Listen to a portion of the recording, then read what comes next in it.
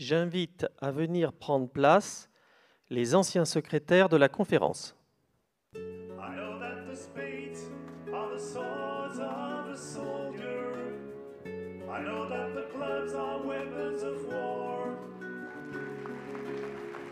I know that diamonds mean money for this art, but that's not the shape of my heart.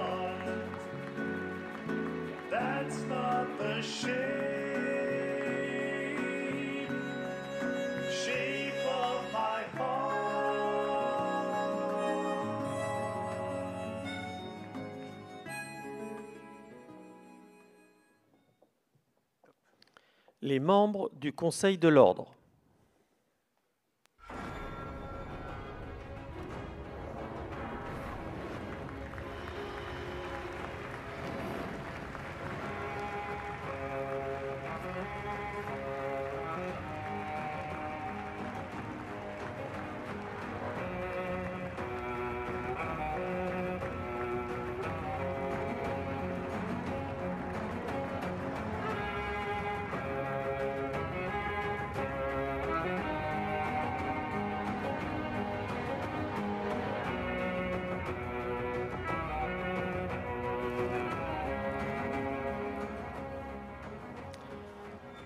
Anciens bâtonniers non membres du Conseil de l'Ordre.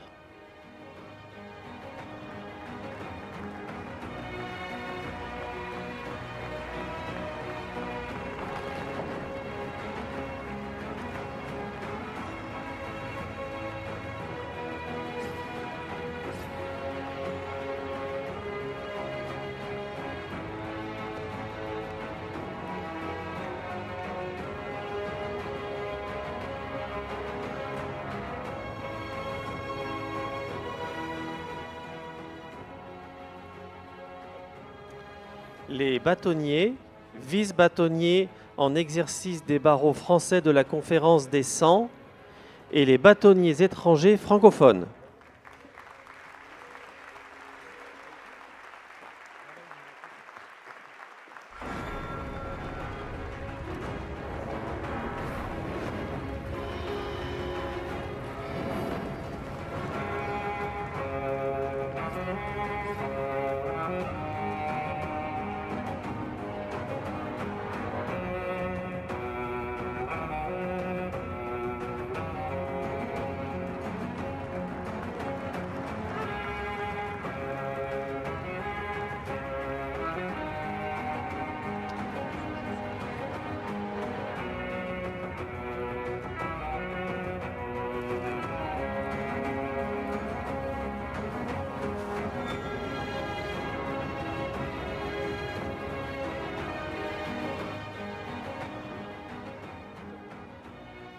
Anciens bâtonniers membres du Conseil de l'Ordre.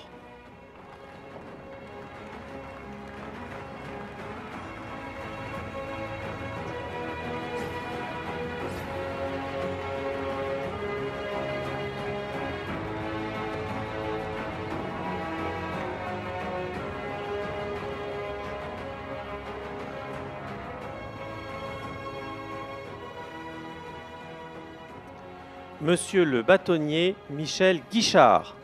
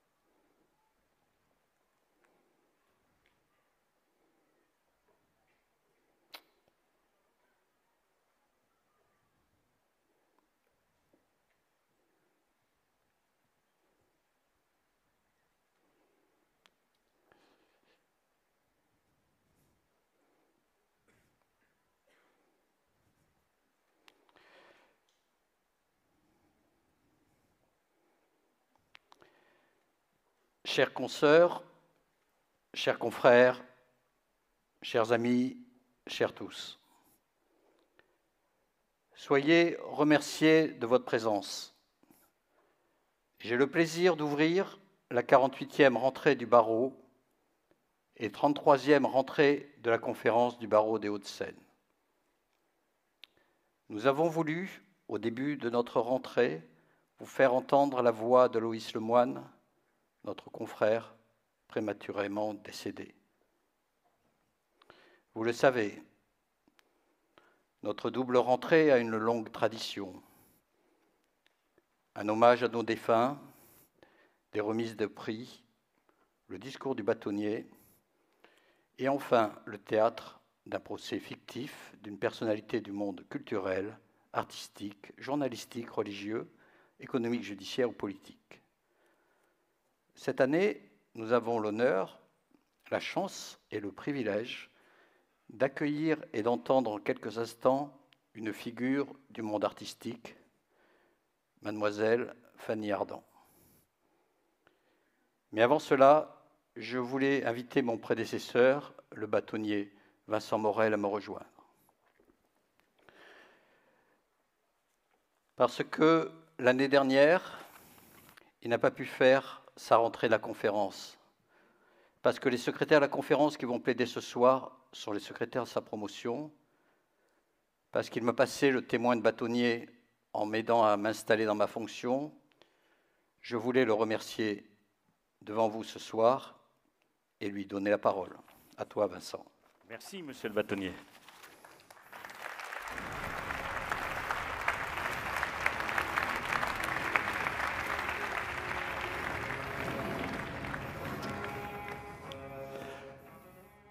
Monsieur le bâtonnier, je vais vous faire une confidence. Lorsque vous m'avez proposé de prendre la parole, j'ai longuement hésité. Je ne suis plus bâtonnier, cela n'a échappé à personne, le temps a passé. Vous tenez les rênes de notre barreau fermement depuis maintenant de nombreux mois. Alors pourquoi diable prendre la parole? À l'instar d'Alfred de Musset, j'ai toutefois appris qu'il en est avec son bâtonnier comme avec les femmes. On peut avoir le dernier mot à condition que le mot soit oui. Donc oui, je prends la parole et finalement avec une certaine gourmandise. Non pas par peur d'avoir à écouter, car je sais que ce soir, avec nos deux secrétaires et l'envoûtante Fanny Ardant, cette rentrée est placée sous le signe du théâtre et de la poésie. Non pas également pour vous flatter. Notre garde des Sceaux l'a rappelé, pas plus tard qu'hier au sénateur. Tout flatteur vit aux dépens de celui qui l'écoute. Je ne le flatterai pas non plus d'ailleurs. Non, cette parole, je la prends pour vous gratifier. Au mois de décembre, l'année dernière, en plein acte 2 de cette crise sanitaire qui n'en finit pas décidément, j'ai pu en comité restreint procéder à la remise du bâton. C'est un petit bâton, toutefois, que je vous ai donné et que vous conserverez jusqu'à la fin de votre mandat. Fait de verre et d'acier, il contient un papier sur lequel est inscrit notre serment. À l'une de ses deux extrémités sont gravés nos deux noms est ainsi symbolisé le passage de moi à vous. Un bâton, j'en ai moi-même reçu un des mains de mon prédécesseur, le bâtonnier Logerie, mon ami qui a bien failli m'oublier ce soir-là, tu te souviens, Pierre-Anne? À l'une des extrémités de ce bâton que j'ai fini par récupérer, sont gravés son nom et le mien, est ainsi symbolisé le passage de lui à moi. En revanche, je n'ai pas pu vous remettre, monsieur le bâtonnier, en présence de tous nos confrères, le bâton. Celui qui a vocation à rester à l'ordre et à passer entre les mains des bâtonniers successifs, créé spécialement à l'occasion des 50 ans de notre barreau que nous fêterons l'année prochaine. Aujourd'hui, et pour quelques jours encore avant que la cinquième vague nous submerge, l'occasion se présente enfin. Alors ce bâton, le voici, monsieur le bâtonnier. Il a été sculpté par un artiste, Frédéric Baudouin, qui a puisé son inspiration dans trois sources. La modernité, que l'on trouve dans sa ligne, la défense, avec toute cette solidité que l'on ressent exprimée par l'arche du même nom, gravée sur son pommeau en référence à notre logo. Quant à Saint-Yves, dont les vertus dominantes étaient la pauvreté et la charité, il est symbolisé par la matière qui le compose, le bois. Plus précisément le frêne, symbole de l'apaisement. Et en ce qui concerne la gravure, le buis, à forte symbolique chrétienne, puisqu'il évoque la résurrection. Alors, oui, il évoque la résurrection. Certains se demandent peut-être pourquoi un bâton et pourquoi Saint-Yves. Permettez-moi de remonter brièvement le temps. Sous l'Ancien Régime, les gens de justice étaient réunis au sein d'une confrérie dont le patron était Saint Nicolas, célébré pour avoir notamment sauvé trois officiers accusés de complot contre l'empereur Constantin, en inspirant un songe à ce dernier qui les déclarera par la suite innocents. Le représentant de cette confrérie, choisi parmi les plus dignes de ses membres, portait dans les cérémonies et processions un patron à l'effigie de leur saint patron. Avec le temps, ce porteur a pris le nom de bâtonnier. Puis, progressivement, il est sorti de son rôle religieux pour prendre celui de chef, veillant à la discipline de ses pairs. Ce rôle de chef est finalement tacté à la fin du XVIIe siècle avec le bâtonnier Montolon et son conseil, qui se sont vus ainsi attribuer le pouvoir disciplinaire jusqu'alors entre les mains du Parlement. Et c'est en s'appropriant ce pouvoir disciplinaire que le barreau a gagné son indépendance. Il ne faut pas l'oublier. Saint-Yves, quant à lui, né en 1253 d'un seigneur breton près de Tréguier, était à la fois prêtre et magistrat. Animé par la foi, il était également et surtout l'avocat des pauvres, le défenseur des veuves, des orphelins, la providence de tous les nécessiteux. Canonisé en 1347, c'est alors que sa figure se substitua à celle de Saint Nicolas sur le bâton de la confrérie. Certains disent qu'il fut le premier avocat à rentrer au paradis. D'autres, moins délicats, qu'il fut également le dernier. Je ne le crois pas. Les portes du paradis sont grandes ouvertes aux avocats, sauf peut-être à notre garde des sceaux. Vous me direz, il n'est plus avocat. Ce bâton est donc le symbole de la mission du bâtonnier, veiller à l'observation des devoirs de l'avocat, mais aussi à la protection de ses droits. Cette dernière mission est des plus essentielles, car à travers les droits des avocats, ce sont les droits des justiciables qu'il s'agit de défendre. Le combat très récent pour la défense du secret professionnel en est la parfaite illustration. Car Talleyrand l'a écrit, on peut violer les lois sans qu'elles crient. Il appartient alors au bâtonnier de dénoncer ces violations et d'affirmer avec Saint-Yves, bien que ce soit une chose étonnante pour le peuple, non, l'avocat n'est pas un voleur. J'ai aimé la mission de bâtonnier, même s'il est vrai que j'aurais apprécié l'exercer dans une conjoncture, disons, plus calme. Que fut mon bâtonnat? Je répondrai à cette question avec les mots d'Aznavour, puisque notre barreau a désormais des liens privilégiés avec le barreau d'Arménie. Le bâtonnat, ce fut d'abord des amis, des trois sortes décrites par Fontenelle. Des amis qui vous aiment, des amis qui ne se soucient pas de vous, et des amis qui vous haïssent. Ce fut des amours, les mêmes qu'avant toutefois, indispensables. Ce fut aussi et surtout des emmerdes plusieurs escadrilles, je pense. Si, comme l'a écrit le général de Gaulle, oui, parce qu'en cette période préélectorale, tout le monde se revendique gaulliste. J'ai estimé que cela ferait plaisir au plus grand monde que je le cite. Si, comme l'a écrit le général de Gaulle, c'est en étreignant les difficultés que l'homme de caractère se réalise, je pense être aujourd'hui particulièrement réalisé. Entre grève au pluriel et Covid, avec les membres du personnel et les membres du Conseil de l'ordre, c'est peu dire que nous n'avons pas été épargnés et que la tâche fut rude. Alors, pour conclure, monsieur le bâtonnier, permettez-moi en présence de cette belle assemblée de les remercier chaleureusement, car malgré ces crises, grâce à eux, nous avons pu faire fonctionner l'ordre tout en menant à bien nos différents projets. Permettez-moi de remercier également tous ceux avec qui j'ai travaillé en bonne intelligence, même si pour certains, ils se reconnaîtront, nous avons eu quelques désaccords, et qui sont présents ce soir en leur grade et qualité, représentants et élus du département, chefs de juridiction, représentants des chambres consulaires, représentants de l'Institut des Hauts-de-Seine et du Conseil départemental.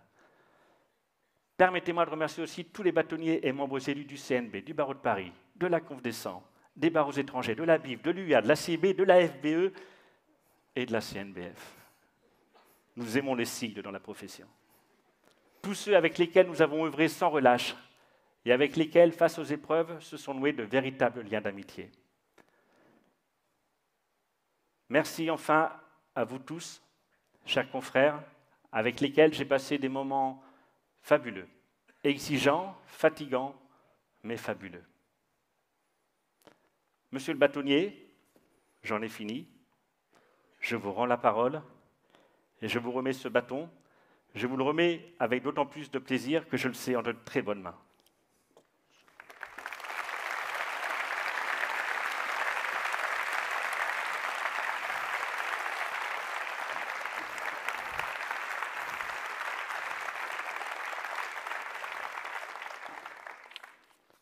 Merci beaucoup Vincent. Ce bâton, je le garderai, mais je le transmettrai aussi. C'est notre devoir en tant que bâtonnier de le passer aux autres. Maintenant, il est une autre tradition plus douloureuse, celle d'honorer la mémoire de nos confrères et consoeurs disparus au cours de l'année. Notre barreau a perdu, le 5 mars 2020, à quelques jours de la prise d'effet du confinement, notre confrère Marcel Bisselin, qui comptait parmi ses huit membres fondateurs. Né le 17 mai 1924 à Paris, fils d'un avoué près la cour d'appel, il avait prêté serment le 18 mai 1949, avoué près le tribunal de grande instance de Paris. Il avait en 1972, après la fusion des deux professions d'avoué de première instance et d'avocat, opéré par la loi du 31 décembre 1971, répondu aux sirènes du président Bruno et du procureur Martin, chargés d'installer un barreau à Nanterre dans le ressort de la nouvelle juridiction judiciaire dont ils étaient en charge.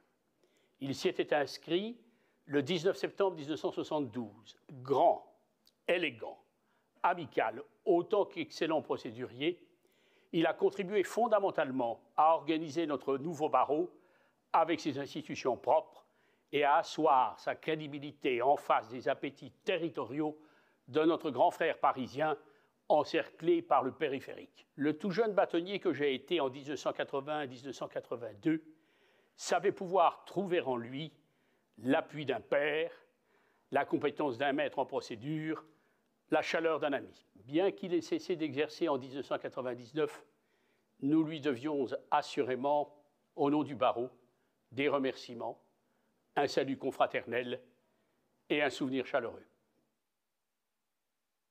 Cher Jean-René, c'est avec tristesse que nous apprenions l'an dernier que tu nous avais quittés à 68 ans, le 30 mai 2020. Tu as toujours privilégié le service des autres, tant en qualité d'avocat que d'officier de réserve de la gendarmerie au grade de lieutenant-colonel, pour lequel tu as été décoré des insignes d'officier de l'Ordre national du mérite. Tu as prêté serment en 1976 et rejoint notre barreau il y a 36 ans, en 1984, l'un de nos points communs. Tu laisses l'image d'un confrère d'une grande gentillesse, discret, mais ouvert à la discussion une fois la glace brisée. Pour celles et ceux qui te connaissaient, tu étais en effet toujours prêt à échanger avec élégance sur tous les sujets de la profession, dont tu incarnais parfaitement les valeurs confraternité, solidarité, intégrité, loyauté et rigueur. Tu aimais passionnément l'avocature, au point d'avoir bien du mal à faire valoir tes droits à la retraite. C'est bien là le seul dossier pour lequel tu ne t'es pas empressé de faire diligence, contrairement à ta réputation de bourreau de travail. Malheureusement, le destin ne t'en a pas laissé le temps. Nous garderons longtemps ton souvenir au palais, troquant ta tenue moto pour la robe d'avocat. Cher Jean-René, pour toutes celles et ceux qui t'ont côtoyé comme moi pendant toutes ces années, tu as été et restera à jamais, selon l'expression consacrée, une belle personne, un modèle d'avocat. Alain Boyer était un homme passionné, travailleur et dévoué à ses clients. Ancien conseil juridique, il fut un avocat comme on n'en fait plus. Il exerçait son métier principalement dans les beaux commerciaux, avec droiture et dans le strict respect des règles déontologiques. Nous pouvions passer des heures à parler de politique, de l'avenir de notre profession ou encore de sa chère Provence qu'il évoquait avec tant d'émotion que ces mots suffisaient à nous faire voyager. Sa maison près d'Avignon était l'endroit privilégié où il se ressourçait et où il retrouvait ses racines provençales. C'est un être généreux, honnête, travailleur, cultivé, qui se dévouait pour sa famille et surtout qui adorait son petit-fils. Professionnellement, il ne comptait pas ses heures et mettait un point d'honneur à régler les affaires qui lui étaient confiées. C'était une belle personne, sa présence et son courage resteront à jamais dans ma mémoire. Ce que je retiendrai surtout de lui, c'est qu'il était un modèle d'humanisme.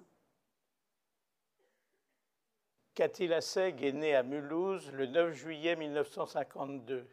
Elle a poursuivi toutes ses études primaires, secondaires à Neuilly et s'est inscrite à la faculté de droit de Nanterre début 1970.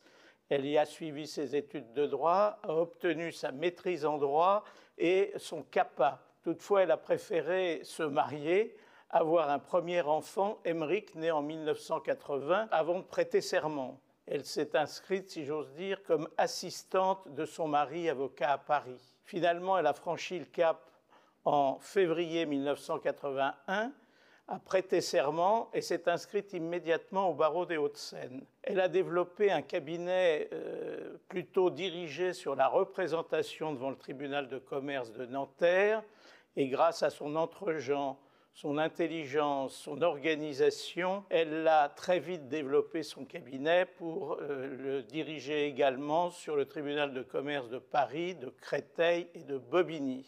Elle a été élue membre du Conseil de l'ordre en 2001 pour trois ans. Elle a ensuite continué à développer son cabinet jusqu'en 2015, époque où elle a euh, cessé son activité. Elle s'est retirée à Orléans en 2017 avec son compagnon Christophe et elle a appris dans le courant de l'année 2019 que minée par une procédure de divorce qui a duré 17 ans et durant laquelle rien ne lui a été épargné, elle était atteinte d'un mal incurable avec un pronostic vital de 18 mois. Elle a lutté farouchement. Tout le monde se souviendra de Cathy Lasseg, une femme toujours élégante, souriante et qui avait également beaucoup d'humour. C'était une grande fumeuse devant l'Éternel. Et elle a elle-même, jusqu'au dernier moment, dirigé tout ce qu'il fallait concernant son départ. Et comme je le disais, grande fumeuse devant l'Éternel avec son fume-cigarette, elle a elle-même choisi l'urne dans laquelle reposent aujourd'hui ses cendres. Cette urne s'appelle cendrier. Cathy, sois heureuse là où tu es. Le bâtonnier Jean Aquaviva nous a quittés le 16 mars de cette année. Je l'ai vu pour la dernière fois en septembre 2020 à Ajaccio. Il était déjà bien fatigué et vivait avec une assistance respiratoire. Nous avons eu, Jean et moi, une carrière professionnelle parallèle. Il a été mon voisin de bureau à Fidal pendant une trentaine d'années et nous nous sommes retrouvés en Corse où il s'est retiré pour sa retraite. Comme lui, vous le savez, j'ai été bâtonnier de notre ordre. S'il fallait qualifier Jean Aquaviva, euh, je dirais bien simplement et bien sincèrement qu'il a été un grand professionnel. Au sein du cabinet Fidal, il s'est d'abord spécialisé en droit du travail, puis il a étendu son champ de recherche à l'économie, donnant au département qu'il a dirigé sur le plan national sa dénomination département économique et social. Dans son exercice professionnel, Jean Aquaviva a toujours eu le souci de la formation des jeunes souhaitant s'investir dans ce domaine, mais aussi d'assurer une formation permanente des avocats de son département, persuadé qu'il était que c'est bien par la technique que devait s'exercer notre profession pour la plus grande satisfaction de ses acteurs et des clients de ces derniers. Il s'est aussi rapproché des universitaires avec lesquels il a entretenu des relations réciproques. Jean Aquaviva a aussi eu le souci de bien faire connaître le rôle du droit dans la structuration et le développement des entreprises au travers de conférences ouvertes à tout public intéressé. C'est toute cette expérience professionnelle que Jean Aquaviva a mise au service de notre ordre et plus généralement de notre profession pendant son mandat de bâtonnier en 1997 et 1998. Formation initiale et continue des avocats, organisation et participation à toute manifestation tendant à faire connaître la profession d'avocat, le rôle spécifique de notre ordre et bien évidemment l'importance de la pratique du droit, tels ont été les grands axes de sa mandature. Je ne peux pas terminer cette brève évocation sans me souvenir de ce bel accent corse qu'il mettait facilement au service d'un humour qu'il aimait partager avec son auditoire.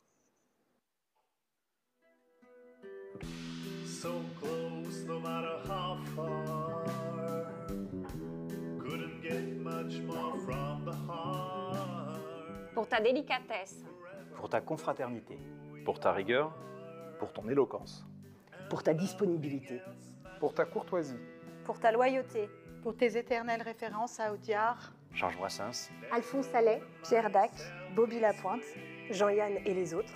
Pour les cons, ça ose tout. C'est même à ça qu'on les reconnaît. Merci Loïs. Salut Denis. Salut Maël. Matters. Trust I seek, and I'm finding you. Every day for us something new. Open mind for a different view. And nothing else matters. Never cared for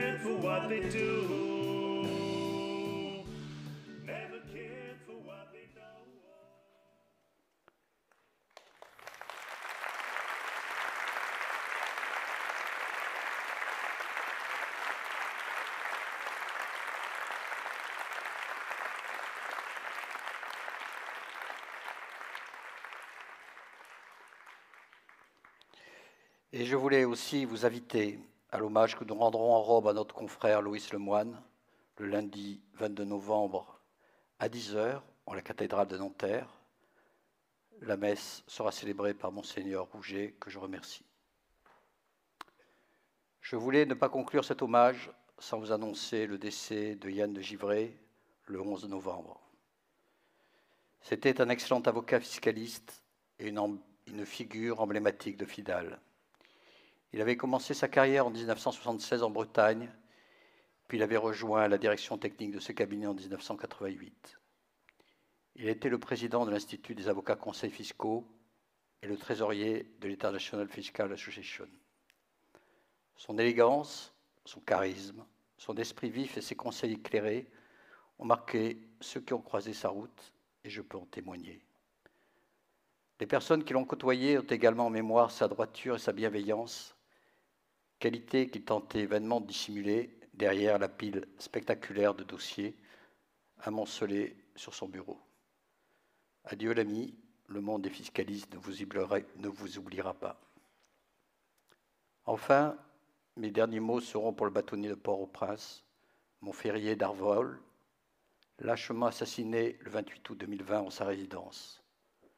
Docteur en droit public, professeur en droit constitutionnel, il se bagarrait pour qu'Haïti devienne état de droit. Ses derniers mots ont été Le pays n'est ni géré ni administré.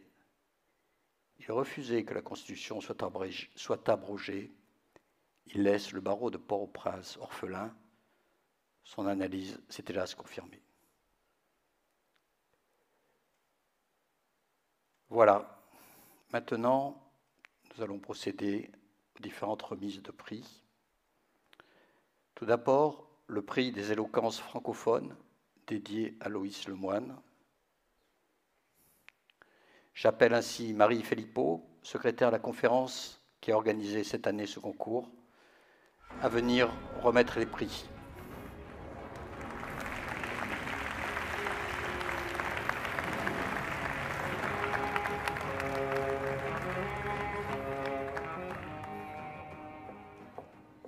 Merci, monsieur le bâtonnier.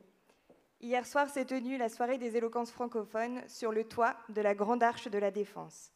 J'invite les lauréats à me rejoindre sur scène, monsieur Philémon Noël, étudiant à la faculté de Nanterre, et maître Félix Molteni, du barreau de Bordeaux.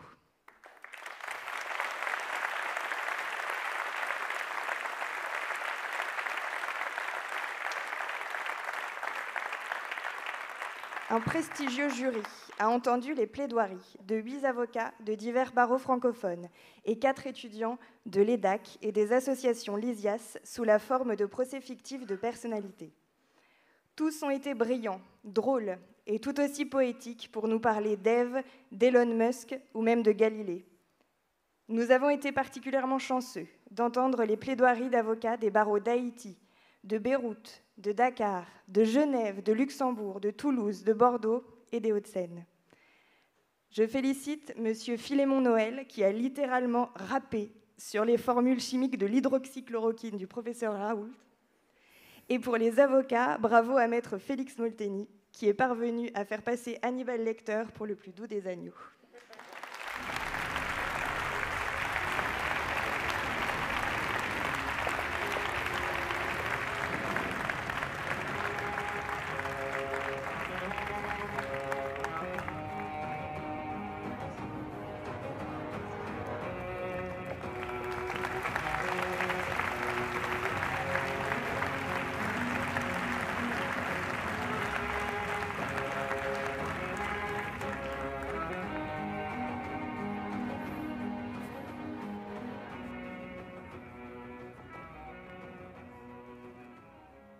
C'était une belle manifestation. Nous sommes partis de la légende des siècles jusqu'à arriver à San Antonio. C'est dire le talent de nos jeunes éloquents. Nous allons maintenant remettre le prix des secrétaires de la conférence. J'appelle donc Antoine Christin, président de l'association des secrétaires de la conférence, pour attribuer le prix aux secrétaires de la conférence 2020 et 2022.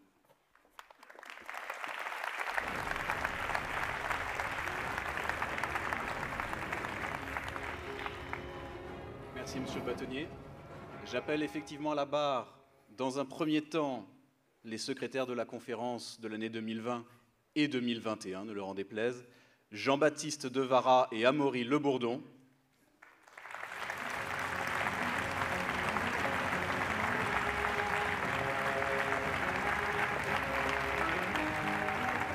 Et les secrétaires qui animeront la rentrée 2022, les secrétaires élus pour l'année prochaine, Mayol Pestre et Joséphine Collin.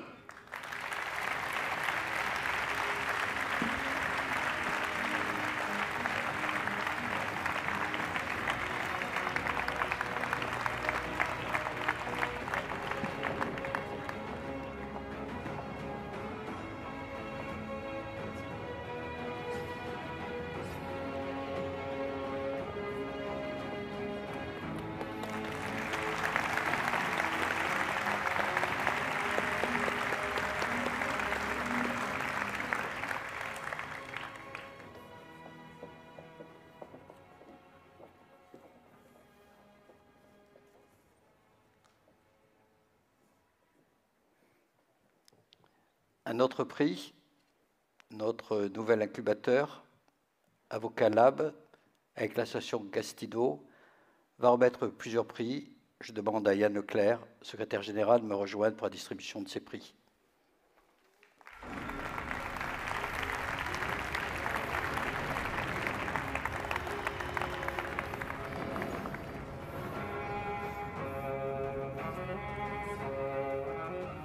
Merci, monsieur le bâtonnier. Bonsoir à tous.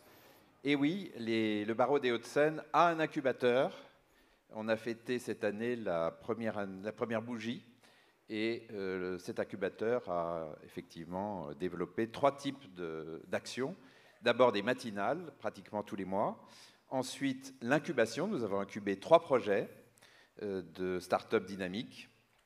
Et puis, euh, ce soir, nous attribuons deux prix. Alors, je vais appeler euh, Marie Fernet et Ganaël Soussan.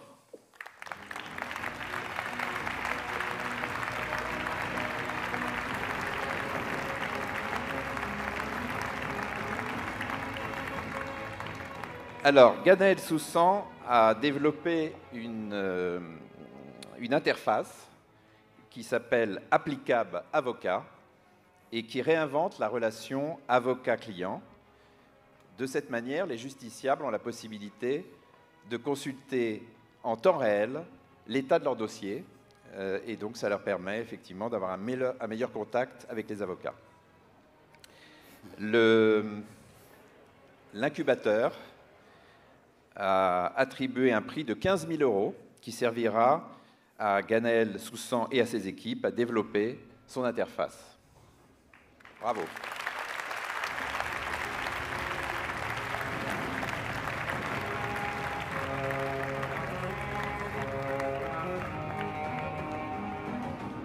Le deuxième prix, le prix coup de cœur, a été attribué à Marie Fernet et Anne Portman. C'est tourisme judiciaire. Alors vous allez me dire, euh, il y a un petit côté euh, euh, curieux de, mélanger tourisme et judiciaire, mais pas du tout. C'est parti d'une idée qui est que finalement, lorsque l'avocat est sorti de sa juridiction et qu'il il est loin de ses bases, il a besoin de connaître euh, les restaurants, de connaître euh, l'état des, euh, l'état des greffes, les adresses, etc., les contacts. Et donc ce- cette interface va permettre de, de proposer aux avocats une solution collaborative qui va être enrichie par les confrères. Et c'est ça qui nous a beaucoup plu. Et donc l'incubateur a délivré un prix de 5000 euros qui va permettre à Marie et à Anne de développer l'application et d'avancer dans leur projet. Félicitations.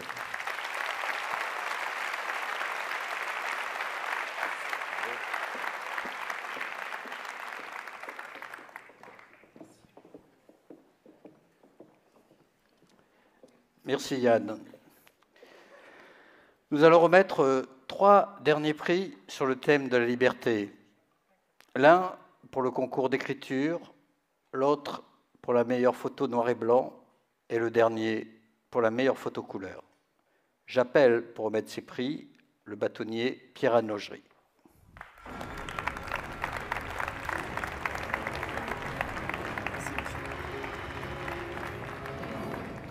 Bonsoir, bonsoir à tous. Alors la commission Vie du Barreau euh, fait beaucoup de choses. Et par exemple, on a, parce que Monsieur le bâtonnier l'a accepté, euh, acquis un piano qu'on a mis euh, dans nos locaux pour les confrères qui ont envie d'en jouer, un peu comme dans les gares ou dans les, aéroports. On a un ciné-club, on a des rencontres littéraires euh, menées de main de maître par euh, Emmanuel Fenalagheni et, Émilie Jay. On a une chorale. Et puis, il nous est venu l'idée de, de créer un concours, un concours d'écriture et de photos. Et ce concours était ouvert euh, à l'ensemble des avocats de notre barreau, mais également les barreaux jumelés, les barreaux amis, les barreaux étrangers, euh, dont beaucoup de représentants sont, ici ce soir. Le thème en était euh, la liberté. Et euh, le prix de, l'écriture, de la plus jolie écriture, a été décerné par le jury à Madame Cécile Evin pour son texte Graines de violence.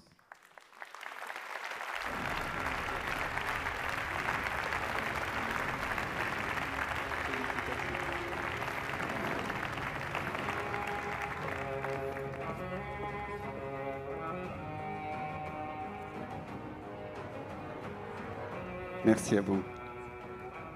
Merci, madame.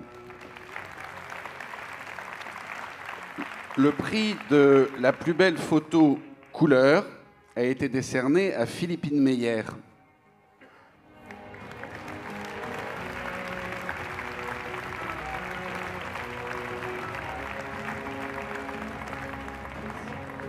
Bravo.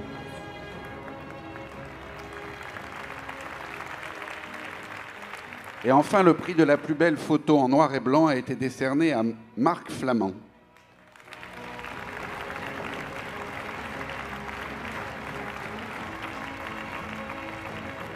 Merci beaucoup. Bravo.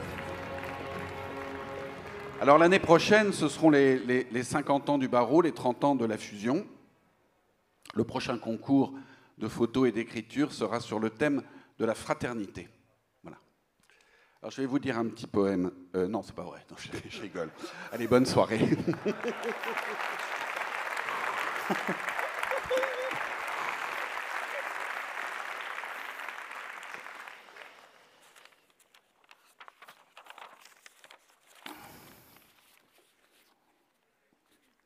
Et voilà le temps du discours du bâtonnier. Madame la députée Constance Le Grip, Madame la députée Céline Calves, Madame la députée Christine Aignon, Mesdames et Messieurs les magistrats et particulièrement Monsieur le Premier Président de la Cour d'appel de Versailles, Madame le Premier Avocat général représentant le Procureur général près la Cour d'appel de Versailles, Madame la Présidente du Tribunal judiciaire de Nanterre, Monsieur le Procureur de la République près le Tribunal judiciaire de Nanterre, Madame la Directrice du Tribunal proximité de Boulogne, Monsieur le Vice-président et Messieurs les présidents de section des conseils de prud'homme de Nanterre et de Boulogne, Mesdames et Messieurs les magistrats, Monseigneur l'évêque de Nanterre, Monsieur le doyen de l'Université de Sceaux, Monsieur le directeur de l'IEJ de Nanterre, Madame la directrice de la maison d'arrêt de Nanterre, Monsieur le directeur et Madame la directrice adjointe du service pénitentiaire d'insertion,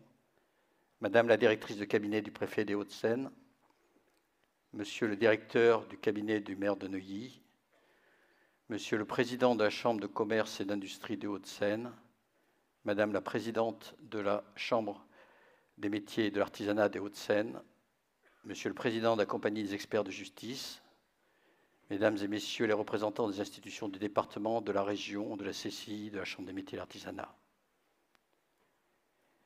Mesdames et Messieurs les avocats et particulièrement Madame la vice-présidente du Conseil national des barreaux, la présidente de la conférence des bâtonniers, chère Hélène, Monsieur le premier vice-président de la conférence des bâtonniers, cher Bruno, Monsieur le bâtonnier du barreau de Paris, cher Olivier, Madame la bâtonnière élue de Paris, chère Julie, Monsieur le vice-bâtonnier élu de Paris, cher Vincent, Mesdames et Messieurs les bâtonniers, vice-bâtonniers et bâtonniers élus de la conférence des 100, Mesdames et Messieurs les bâtonniers et bâtonniers élus de la conférence des barreaux d'Île-de-France, Monsieur le Président de l'Union internationale des avocats, Madame la Présidente de la Fédération des barreaux d'Europe, Mesdames et Messieurs les bâtonniers, membres et représentants des bureaux de Bruxelles, de Mons, du Luxembourg, d'Haïti, de Dakar et de Beyrouth, Messieurs les directeurs de l'EDAC et de l'ERAGE, Mesdames et Messieurs les membres du Conseil national des barreaux,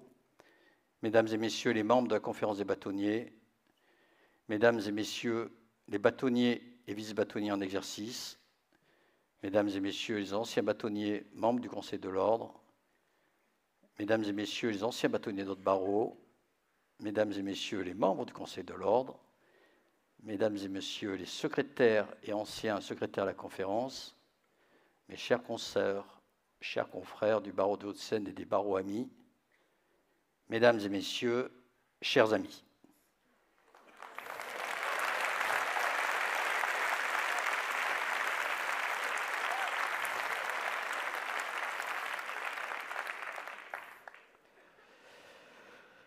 Putain de Covid.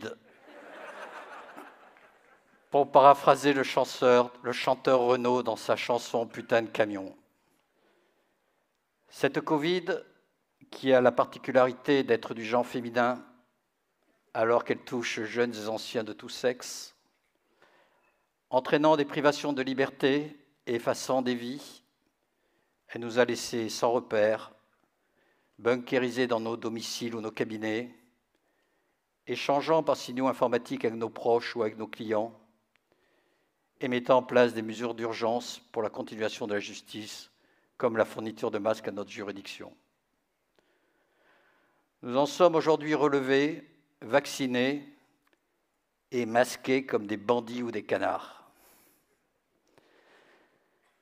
Cette Covid a dégagé des gestes de solidarité et une revue de nos habitudes, avec notamment le développement du télétravail.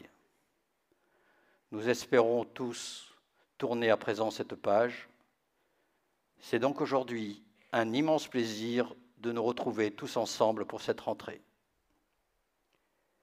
Quand j'ai pris, mes fonctions de bâtonnier au 1er janvier de cette année, après une année d'apprentissage, je savais que j'avais la chance d'être dans un barreau unique dans sa composition, avec des mégastructures, des moyennes structures et des cabinets individuels ouvert à la discussion sur tous les sujets, de l'avocat en entreprise à la défense des avocats à l'étranger, en passant par le droit d'asile ou encore la défense des mineurs ou des victimes de violences familiales.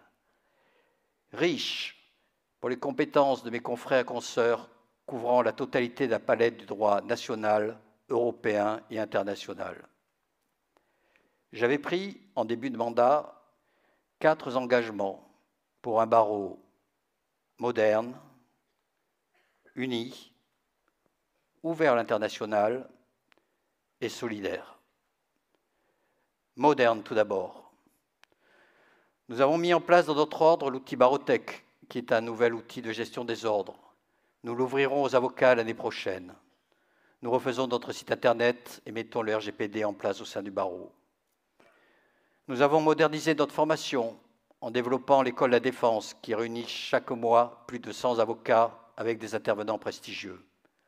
L'école la fiscalité est née. Elle permet de mettre à disposition des petites structures d'avocats une formation déjà existante dans les grandes structures avec des experts. Nous avons développé nos partenariats avec la CCI, la Chambre des métiers de l'artisanat, le MEDEF, les notaires, les experts comptables, les commissaires aux comptes, les administrateurs judiciaires, au travers de conventions ou de manifestations, comme les avocats prennent la défense, qui se tient en octobre à Cœur Défense, avec des ateliers et des consultations gratuites au soutien des entreprises et des entrepreneurs. Nous avons bâti un incubateur qui fournit formation numérique aux avocats et aide aux startups et qui développe des outils par pour les avocats. Nous avons travaillé sur des propositions sur le droit des entreprises en difficulté avec le député Romain Gros. Un barreau uni ensuite. Nous rassemblons nos confrères dans une série de manifestations très diverses.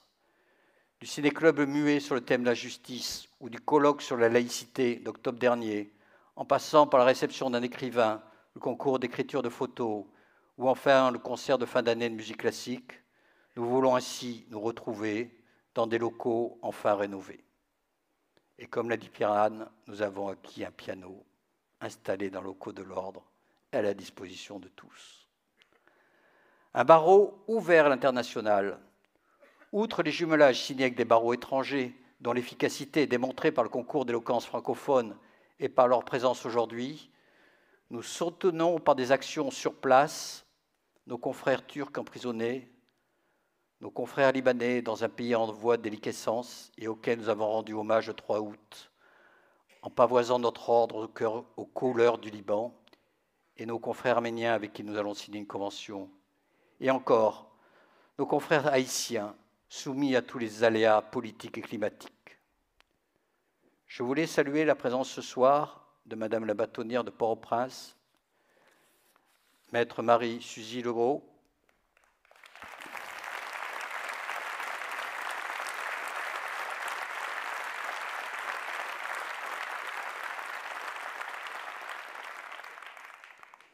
légalement désigné bâtonnier après l'assassinat de Maître Dorval, puis réélu pour deux ans. Elle est la première femme bâtonnière à Haïti et à Port-au-Prince qui doit gérer tout à la fois l'interdiction d'accès au tribunal et celle à son ordre même. Chapeau, Madame la bâtonnière.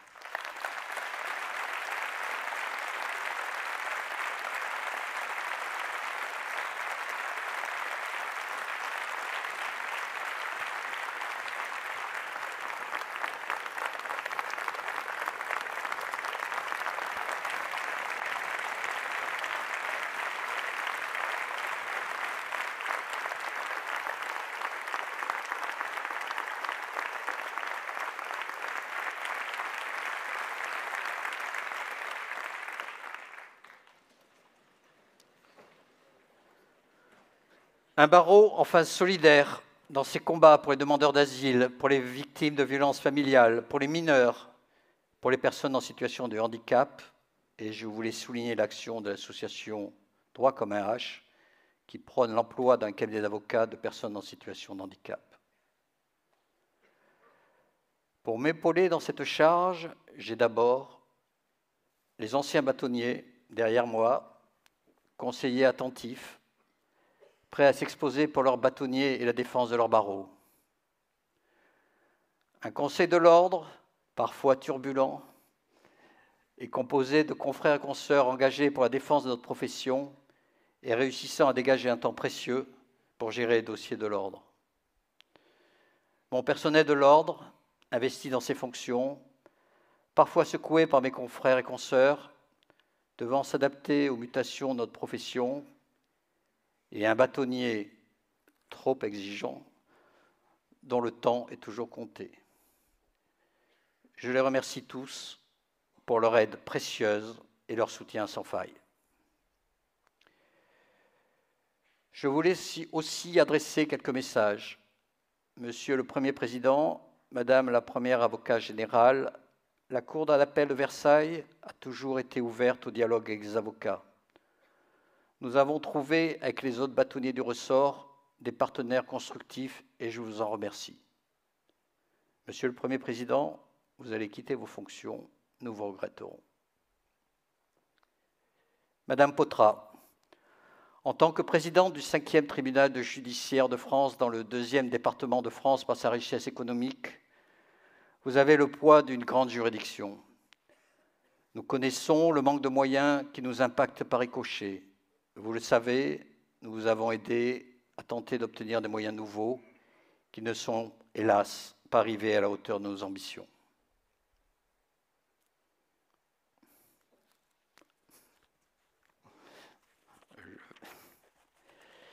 Monsieur Prache, vous êtes notre nouveau procureur de la République. J'apprécie votre volonté de renforcer le lien avec les avocats de notre barreau. Nous organisons ainsi les premiers mercredis du mois une rencontre et vous participez activement à la vie de notre barreau. Nous ne serons pas, bien entendu, d'accord sur tout, mais le dialogue doit toujours primer. L'avocat est un auxiliaire de justice incontournable. Ne créons pas de barrières matérielles, ni psychologiques ou symboliques entre avocats et magistrats, pour les éloigner encore plus entre eux. Tous doivent se parler pour un bon fonctionnement de la justice. Les délais de justice sont trop longs, les avocats s'épuisent dans les audiences jusqu'au bout de la nuit.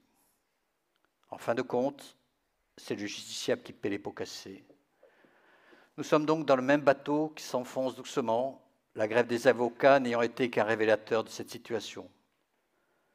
Nous devons donc collectivement nous mobiliser pour remettre à flot ce service public laissé en déshérence. Continuons donc à dialoguer et à trouver des solutions ensemble. Ma chère Hélène Fontaine, je comprends qu'en étant présidente de la conférence des bâtonniers, tu as profondément souffert du départ de notre barreau de cette institution. Ce départ, envisagé depuis plusieurs années par des prédécesseurs, s'est concrétisé compte tenu du débat avorté sur l'avocat d'entreprise, du défaut de visibilité de notre barreau dans la conférence et de ces règles de représentativité qui excluent, qui excluent 20% des avocats. Je sais que tu as déjà entrepris beaucoup de travail pour faire bouger cette institution. Notre départ n'est peut-être qu'une incompréhension, mais il n'est sûrement pas définitif. Mon cher Bruno Blanquer, tu vas prendre la tête de la conférence des bâtonniers au 1er janvier et tu souhaites que notre barreau y revienne. Nous serons très attentifs à tes propositions de réforme qui seront déterminantes pour décider ou non de vous retrouver. Et enfin, je voulais rendre hommage aux bâtonniers et vice-bâtonniers en exercice qui sont sur cette estrade, car ils sont pendant deux ans en charge de la vie quotidienne des avocats, mon attention portera plus particulièrement sur les membres de la conférence des 100, appelée ainsi pompeusement, alors qu'elle réunit les 20 plus grands barreaux hors Paris. C'est à travers eux que j'ai découvert l'ordinalité, composée de joyeux trublions, griffonnant une motion sur un bout de serviette pour doubler celle du CNB ou de la conférence des bâtonniers, partageant leurs expériences et leurs bonnes pratiques, se retrouvant toutes les fins de semaine bien chargées du quatrième trimestre pour partager ensemble la rentrée de la conférence de chacun. Ayant un pouvoir à renverser la position du garde des Sceaux, voyez Nice matin. Les avocats manifestent à Nice et à Grasse, le ministre lâche du lest. Qu'a-t-on fait, nous, à Paris? Et surtout, sauvant en début d'année un projet lancé par nos anciens bâtonniers, ce fameux outil de gestion des ordres appelé barothèque, n'existant nulle part ailleurs et envié désormais par les autres barreaux qui souhaitent maintenant l'utiliser. J'ai voulu ce soir les mettre à l'honneur, car ce sont eux qui gèrent au quotidien une mission d'accompagnement des avocats. Et je vous dis qu'un jour, cette conférence des 100 montera sur scène pour faire une revue à faire pâlir celle de l'UGIA. Enfin, permettez-moi de dessiner, comme le petit prince de Saint-Exupéry, un mouton à quatre pattes. L'avocat du XXIe siècle. L'avocat d'aujourd'hui doit être un entrepreneur, sachant diriger sa petite entreprise d'aujourd'hui avec les outils informatiques, ne travaillant plus seul mais en équipe, au travers de structures de moyens d'exercice.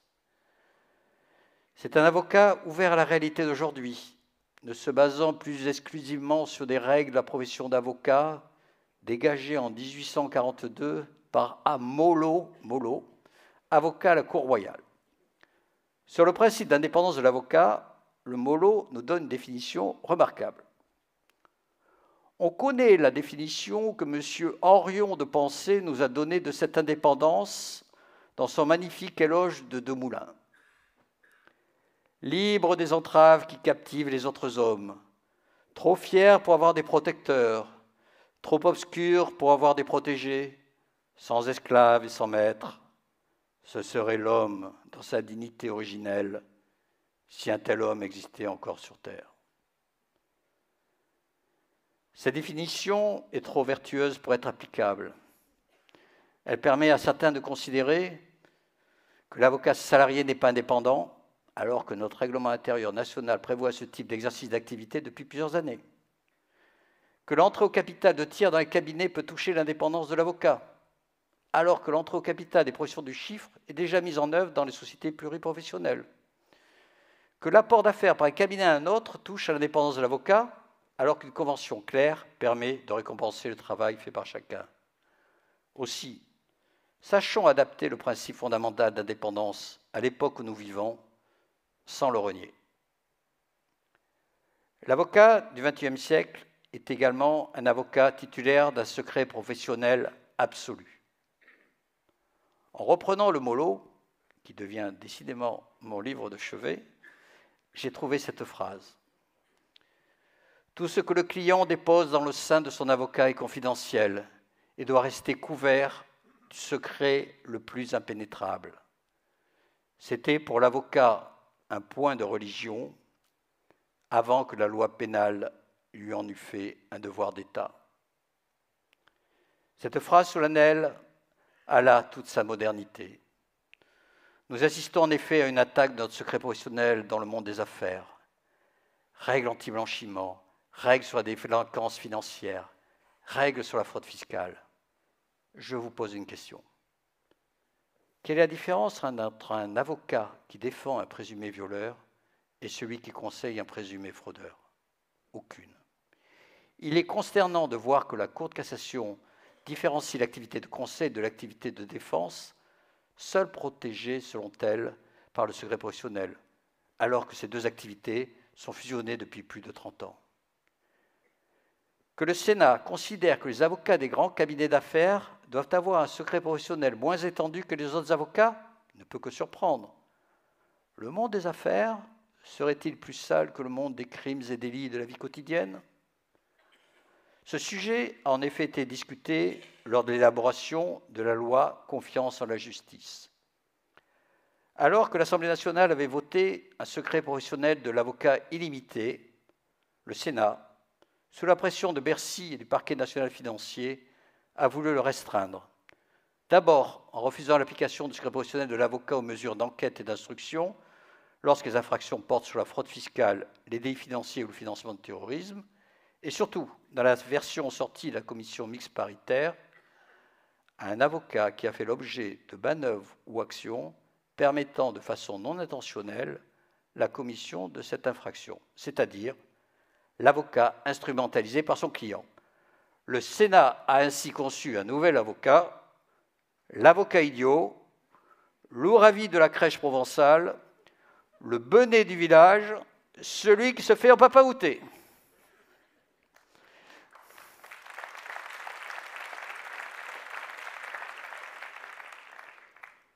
La réaction du CNB ne s'est pas fait attendre.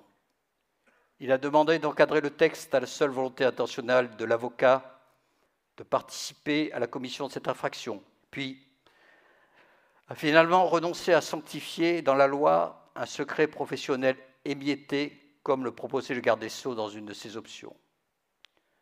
Notre barreau s'est fortement mobilisé sur ce sujet, et nos huit plus grands cabinets, là de se voir considérés comme complices de toutes les infractions financières, sont sortis de leur réserve et ont écrit une lettre au président de la République. Des députés de notre département se sont mobilisés et je les remercie. J'ai apprécié que le secret professionnel dans le monde des affaires ait été unanimement défendu par l'ensemble du profession solidaire. C'est en effet uni dans notre profession que nos messages seront compris. Le garde des Sceaux ayant, fait fi de la demande à profession a maintenu des dérogations à notre secret professionnel, même si nous avons obtenu quelques corrections sur la procédure et surtout la suppression de l'avocat ravi. Cela étant, le combat continue, d'apport au niveau du Conseil constitutionnel et au niveau européen, puis lors des perquisitions. Nous allons structurer des équipes de délégués du bâtonnier pour intervenir dans les perquisitions dans les cabinets d'avocats. Le livre de Vincent Nioret sur les perquisitions va devoir être réédité. Je suis heureux par ailleurs que notre barreau ait participé au recours devant le Conseil d'État avec les institutions représentatives de la profession contre la directive européenne demandant aux avocats de dénoncer les schémas fiscaux dits agressifs. Et je suis fier que nous ayons obtenu que la Cour de justice de l'Union européenne soit saisie sur la conformité de cette directive aux droits fondamentaux de l'Union européenne.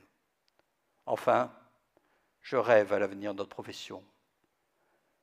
L'arrivée de nombreux étudiants dans les écoles d'avocats est un message réjouissant pour notre activité que l'on considérait il y a un an comme moribonde. Voilà, je viens de vous dessiner ce mouton à quatre pattes, un avocat entrepreneur, ouvert, titulaire d'un secret absolu et jeune d'esprit. À la manière du petit prince, laissons-le se développer sur notre, planète du droit et nous éviterons qu'il soit tondu comme en rêvent certains. Putain, qu'est-ce que c'est bon de se retrouver tous ensemble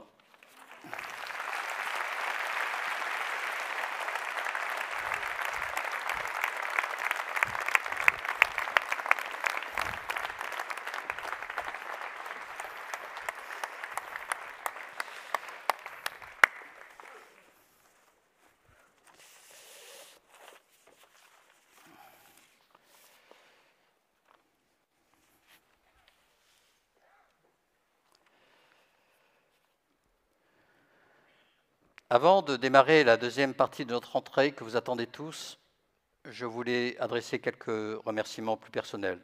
Tout d'abord à ma famille, avec qui je vis mon bâtonnat, mon épouse pour son bon sens, mon fils avocat pour les débats dominicaux sur la déontologie de la profession, mon gendre qui a relu améliorer ce discours, ma fille pour ses conseils en matière de communication et mon petit-fils. Mes remerciements s'adressent surtout à Anne-Marie, Judith, Elisabeth et Daniel pour leur énorme travail de préparation de cette rentrée. Alexandre pour la communication de l'événement, à nos prestataires, l'agence événementielle Leur qui nous suit depuis de longues années, et les traiteurs, Caspia et Cardamone, qui ont conçu deux styles de buffet à votre attention, un buffet raffiné et un buffet street food.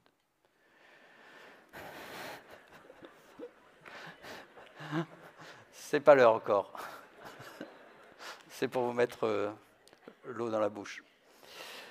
Je vous rappelle que tout au long de cette soirée, le port du masque est obligatoire, sans oublier les gestes barrières, et que des gels sont à votre disposition dans la salle de réception. Mais d'abord, régalons-nous avec notre procès fictif. J'invite tout d'abord à la barre Amaury Le Bourdon, qui sera l'accusateur public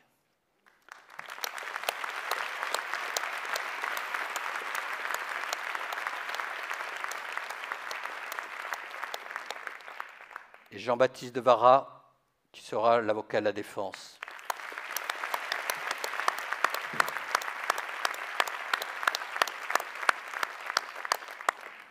Et je vous prie de faire une ovation à notre invitée prestigieuse, mademoiselle Fanny Ardant.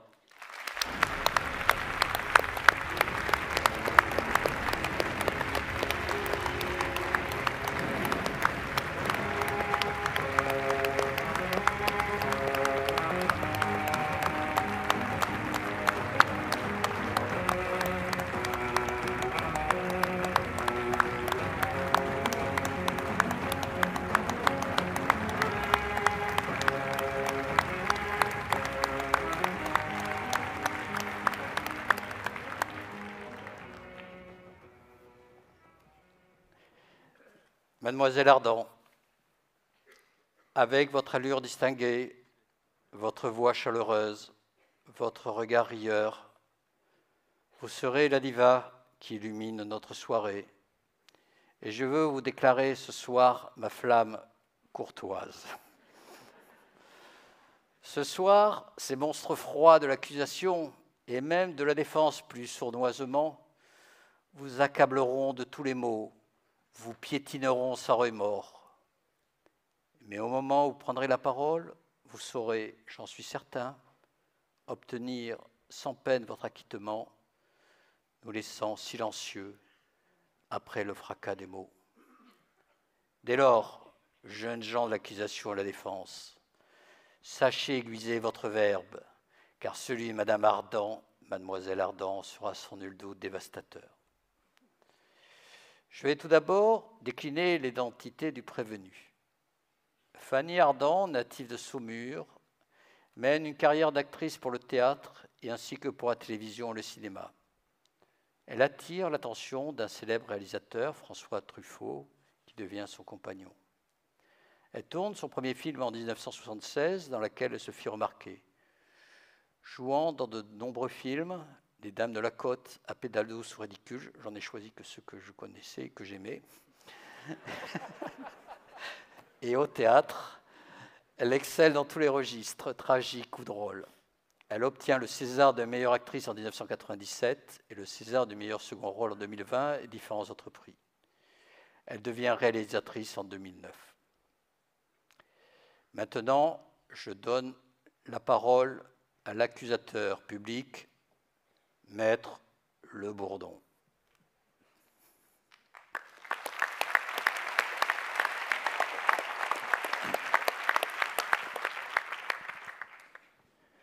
J'ai connu des beautés inabordables, froides et pures comme la neige de l'hiver, impossibles à toucher, à séduire, incompréhensibles même à l'esprit. Pouchkine.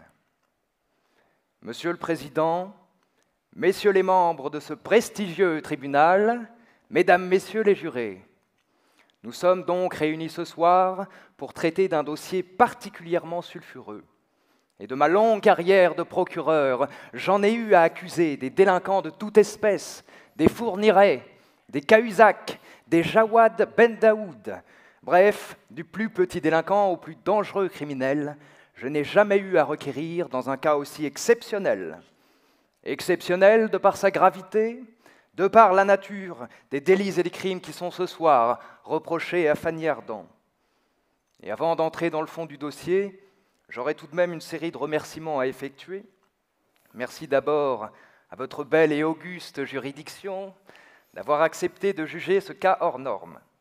Et monsieur le bâtonnier, lorsque vous avez accepté d'accéder à ma requête de convoquer votre juridiction, vous savez, quand nous nous sommes croisés cet été à La Rochelle, lors de cette régate, entre deux verres de vin de Bordeaux, en tout cas, quel pied marin, Monsieur le Président, je dois vous dire que j'ai été particulièrement honoré. Pourquoi requérir devant un tel tribunal d'exception? Tout simplement pour la règle procédurale qui veut que l'on puisse ressusciter d'anciennes incriminations, aujourd'hui malheureusement abrogées, crimes de lèse-majesté, délit d'outrage à la morale publique et aux bonnes mœurs. Souvenez-vous, celui pour lequel Baudelaire avait été condamné en 1857 pour les fleurs du mal. Je veux longtemps plonger mes doigts tremblants dans l'épaissure de ta crinière lourde. sur un réquisitoire de mon prédécesseur, le redoutable et redouté avocat général Pinard. Et la voilà de retour, cette belle incrimination. Ah oui, oui, je les entends crier, les défenseurs des droits de l'homme, ils sont nombreux ce soir derrière moi dans cette salle, crier à la déloyauté, à l'atteinte au principe de l'égalité des délits et des peines. Alors oui, oui, c'est vrai que ce n'est pas très loyal de rétablir ces délits spécialement pour ce procès, ce n'est pas très mousquetaire, dirons-nous, mais une fois que vous les aurez entendus, toutes ces infractions dont l'accusé s'est rendu coupable, alors vous comprendrez la nécessité d'une telle procédure d'exception. Merci ensuite à vous, Fanny Ardant, d'avoir accepté cette accusation. Je dois vous dire tout de suite, ce n'était peut-être pas la meilleure idée que vous ayez eue ce soir, lorsque vous allez voir les peines que vous encourez.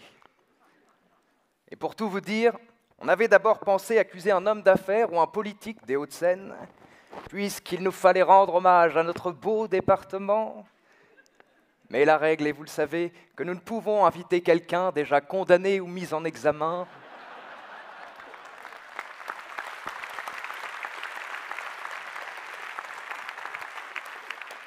Ce qui, de manière assez étonnante, s'est révélé hautement compliqué à trouver par chez nous.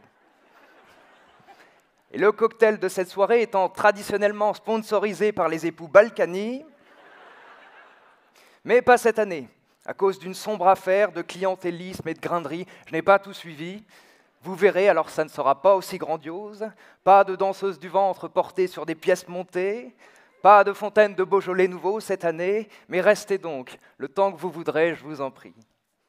Et puis, et puis c'est vrai que les hommes d'affaires, ça manque un peu de folie, ça manque un peu de panache. Et puis les hommes d'affaires, ça manque de femmes, tout simplement. Voilà pourquoi nous avons pensé à vous, la grande, l'iconique, la grande des bellezza, la beauté éternelle à la voix envoûtante et à la sensualité inégalable. Mais j'arrête ici les hommages, car cet éloge ce soir sera assuré par votre avocat commis d'office, le seul disponible ce soir, le dernier de la liste des permanences pénales. Maître, euh, comment déjà? Oui, Jean-Baptiste de Varax. De Vara, on ne sait pas très bien, c'est comme au Yona. Une tâche bien difficile qui vous attend donc, cher maître, ce soir, croyez-moi. Car notre rôle à nous, les procureurs, nous les grands accusateurs, nous les François Molins, les Philippe Courroy, nous les Pinards, nous les Saint-Just, c'est bien de défendre la société, l'ordre, la discipline. Vous voyez le quartier de la Défense, Neuilly-sur-Seine. Ça, c'est ordonné. Des tours droites aux lignes rigoureuses et du bitume. Sentez cette délicieuse odeur de bitume. Et puis c'est propre, hein, on mangerait par terre. Là, disait le poète, là, tout n'est qu'ordre et beauté. Il parlait évidemment de Neuilly-sur-Seine. Luxe, calme et volupté. Et cette volupté de l'ordre, bien gardée par nos brigades de policiers et procureurs, elle est aujourd'hui piétinée par notre accusé. Car derrière tout un palmarès, certes prestigieux et envoûtant, se cache en réalité une série de délits et de crimes qu'il est maintenant de mon ressort de dénoncer. Avant d'attaquer sur les actes d'accusation, commençons par exposer le lourd passé de l'accusé. D'une famille originaire du Limousin, comme la porcelaine, les vaches et Jacques Chirac. Fille d'un père militaire, Fanny Ardant a étudié dans les plus grandes écoles. Assidue, elle a gravi un à un les échelons de la réussite académique et sociale. Sortie major de sa promotion à la Polytechnic School of Limoges. Vous étiez pourtant bien partie dans la vie, Fanny Ardant, lorsqu'à 19 ans vous intégriez la très prestigieuse école de Sciences Po, mais à Aix-en-Provence, où étudièrent entre autres de grandes figures de notre temps comme Portalis, Adolphe Thiers, le haut du panier, le Graal, pour tout impétrant qui souhaite embrasser une carrière digne de ce nom et un métier respectable. Au lieu de cela, au lieu de cela, vous êtes finalement abaissé à embrasser une carrière de ménestrel, une voix de troubadour du grand écran, voire même, selon certains, de farfadette. Votre mémoire de fin d'IEP s'intitulait déjà, et je voudrais que ça soit marqué au dossier, Anarchisme et surréalisme. Anarchisme et surréalisme. On sentait déjà bien qu'on aurait du mal à vous faire marcher au pas. Vous auriez pu l'appeler zadisme et voltige, ou bien encore, ceci n'est pas une révolution, c'eût été pareil. L'intention était bien là. Les chefs d'accusation, quels sont-ils? Ils sont au nombre de trois. La tromperie des consommateurs, l'assassinat, l'assassinat et la provocation au crime d'atteinte aux intérêts fondamentaux de la nation. La tromperie des consommateurs, tout d'abord. L'article L441-1 du Code de la consommation interdit pour toute personne de tromper, en particulier sur la nature ou les qualités substantielles de toute marchandise. Et vous le savez, les œuvres cinématographiques sont des marchandises comme les autres, car le cinéma est bien une industrie. Les Warner et autres Netflix sont aujourd'hui les monarques de cet empire du divertissement. Et on juge de la qualité d'un film au nombre d'entrées qu'il fait au cinéma. Un film est brillant lorsqu'il côtoie les cieux du box-office. Voilà, c'est ça la philosophie du cinéma. Autrement dit, les Tuches et Bienvenue chez les Ch'tis avec leurs 20 millions d'entrées sont des chefs-d'œuvre. Comparé à Lost Highway de David Lynch, qui avec seulement 150 000 entrées en France est, selon le jargon cinématographique, une croûte. Et voilà, c'est ça la philosophie du cinéma. Et c'est bien ce qu'attendent les 60 millions de consommateurs français, comme vous, lorsqu'ils achètent un film ou une place de spectacle, du divertissement. Or, Fanny Ardant a délibérément trompé cette attente raisonnable du consommateur moyen. Elle a opté pour un cinéma d'auteur particulièrement inaccessible pour le commun des mortels, en préférant jouer pour la nouvelle vague, pour Claude Lelouch, Alain Resnais, Agnès Varda et le grand François Truffaut, son mari, mais également pour les réalisateurs italiens comme Antonioni, Franco Zeffirelli, Sorrentino et j'en passe. Elle s'est démarquée des autres icônes du cinéma français par son côté à la fois sulfureux, inaccessible et ténébreux, par des rôles, ma foi, trop complexes, réservés aux intellectuels de la rive gauche. Vous avez réfléchi, vous vous êtes cultivé, erreur fatale, Fanny Ardant, sur laquelle vous aurez tout le loisir de ressasser dans votre cellule 4 étoiles. Il faut bien relever que vous êtes à vous seul l'explication et le paroxysme de ce chef-d'œuvre qu'est la Grande Bellezza de Sorrentino. Quand vous apparaissez en personne cette fois en tant que Fanny Ardant devant l'esthète Jeb Gambardella en quête de la grande beauté et qu'il reste sans voix devant votre mythique visage, cet instant suspendu a réveillé en moi une étincelle perdue. Ah, que j'envie Jeb Gambardella, pour qui vous vous êtes retourné, alors que tout à l'heure, devant le palais de justice, votre silhouette est restée de marbre, alors que nous nous croisions. Et cette apparition, mise en abîme donc dans ce chef-d'œuvre, quelle émotion céleste pour les initiés. Seulement voilà, le consommateur moyen lui est passé totalement à côté. Le public voulait vous voir voltiger dans l'espace avec un sabre laser, avec une coiffure en beignet, dans le rôle de la princesse Leila de Star Wars. Il s'attendait à la voir embrasser le beau Leonardo DiCaprio à la proue du Titanic, les yeux fixés au large et les cheveux au vent. Les consommateurs s'attendaient légitimement à vous voir Fanny Ardant jouer dans la petite maison dans la prairie. Car je sais que vous détestez particulièrement ce programme, vous l'avez déclaré. C'est dommage, quelle bien belle série pourtant. Et accessible, tout est lisse, tout le monde se ressemble et surtout, tout finit bien. Autre élément démontrant la tromperie, vous vous êtes refusé à tirer profit de votre notoriété. Vous n'avez pas su prendre le virage Instagram et Twitter. Où sont vos selfies avec Nabila, Fanny Ardant? Où sont vos publicités pour des gels douches et des shampoings à l'occasion du Black Friday? Où sont vos placements de produits dans vos apparitions télé? Je vous le demande. Et l'enquête minutieuse menée par mes services dans les archives de la télé et du cinéma l'a démontré et l'a confirmé. L'accusé n'a jamais produit la moindre publicité. Elle sait pourtant pertinemment que notre civilisation a évolué, qu'après l'obscurantisme, nous sommes enfin parvenus dans l'ère moderne et lumineuse du grand capitalisme, de l'économie de marché, la panacée notre nouveau suzerain auquel vous avez refusé de prêter allégeance, Fanny Ardant. L'élément intentionnel du délit est donc manifestement caractérisé. Un préjudice pour le capitalisme, un préjudice pour le consommateur.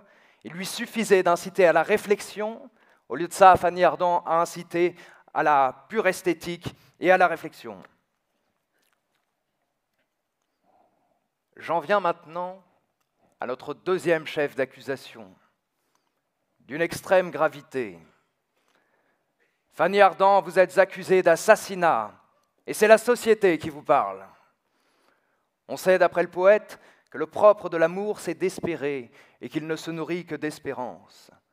Par ses rôles au cinéma, mais également par ses déclarations répétées dans la presse, Fanny Ardant s'est employée à éradiquer toute forme d'espérance dans ce sentiment. Elle a littéralement tué l'amour, et les preuves sont là, elles sont accablantes. Vous manifestez une vision un peu plus funeste de l'amour, une vision déformée, une vision en contradiction avec nos canons autorisés, inspirés directement par Walt Disney, vous savez, ils se marièrent et eurent beaucoup d'enfants.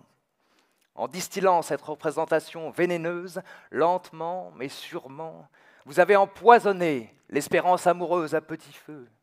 Et maintenant, où est-il? Qu'est-il advenu de ce pauvre petit amour, fleur bleue et sans défense? Aujourd'hui, il ne reste plus rien, plus rien de cette flamme ardente qui aurait pu en nous raviver jadis le feu sacré. Je ne parle pas seulement d'un empoisonnement malencontreux, je parle bel et bien d'un acharnement, puisque l'intégralité de votre carrière est concernée.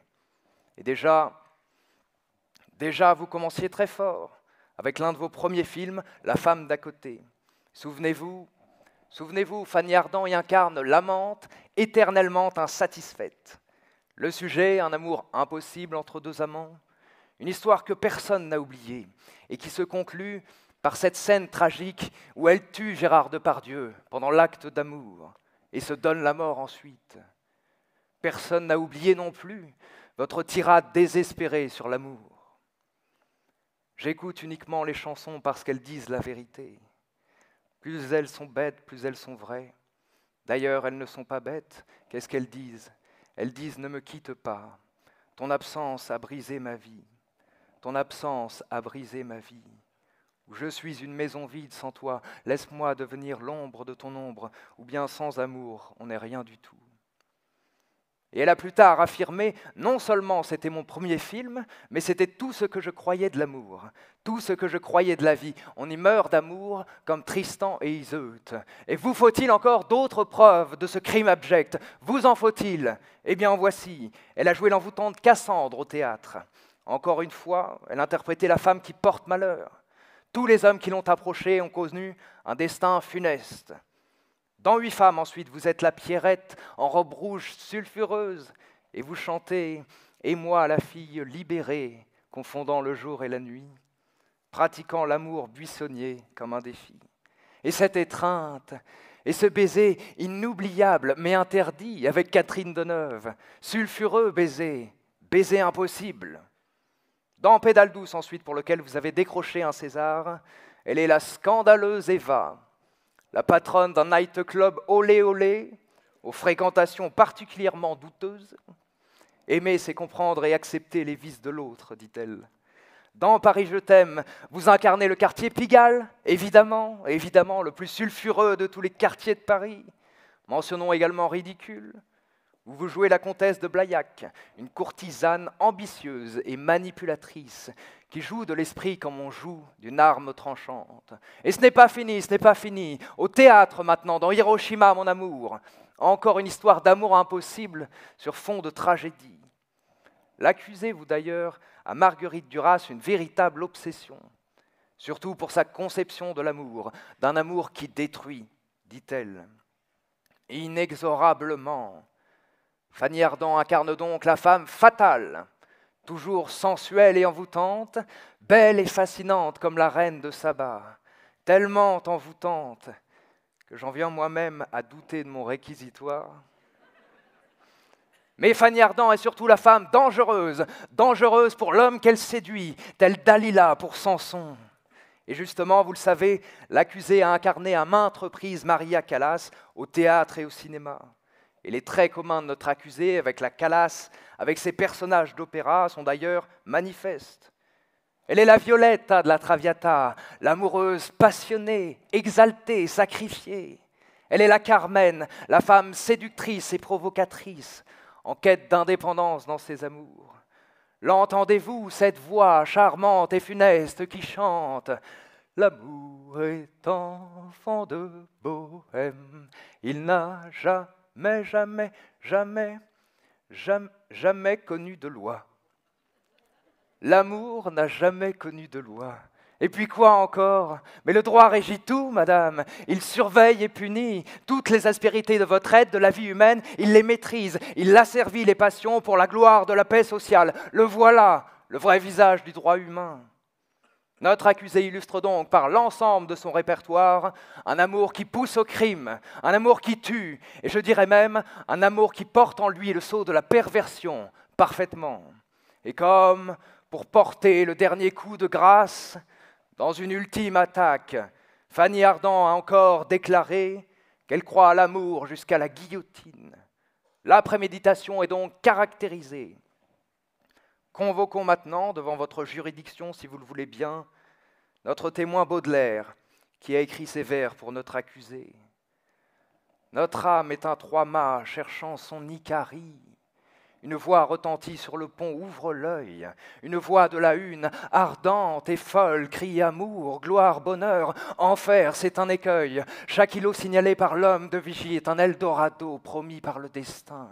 L'imagination qui dresse son orgie ne trouve qu'un récif aux clartés du matin. Oh, la pauvre amoureuse des pays chimériques. Faut-il la mettre au fer, la jeter à la mer? Cette sulfureuse oracle de l'amour tragique dont le mirage rend le gouffre plus amer. Fanny Ardant, au tribunal de l'amour, on ne trompe pas. Et si votre vision de ce sentiment était un tableau, il serait assurément le radeau de la Méduse de Jéricho, un naufrage. Et si cette vision était un poème ou une chanson, il serait ces mots d'Aragon chantés par Brassens. Il n'y a pas d'amour heureux, une défaite, et aujourd'hui, la société vous le demande. Que reste-t-il de nos amours? Que reste-t-il de ces beaux jours? Ou, comme le dirait plus simplement Youssoufa, où est l'amour? Brel répondrait sans doute L'amour est mort, l'amour est vide, Fanny Ardant l'a tué.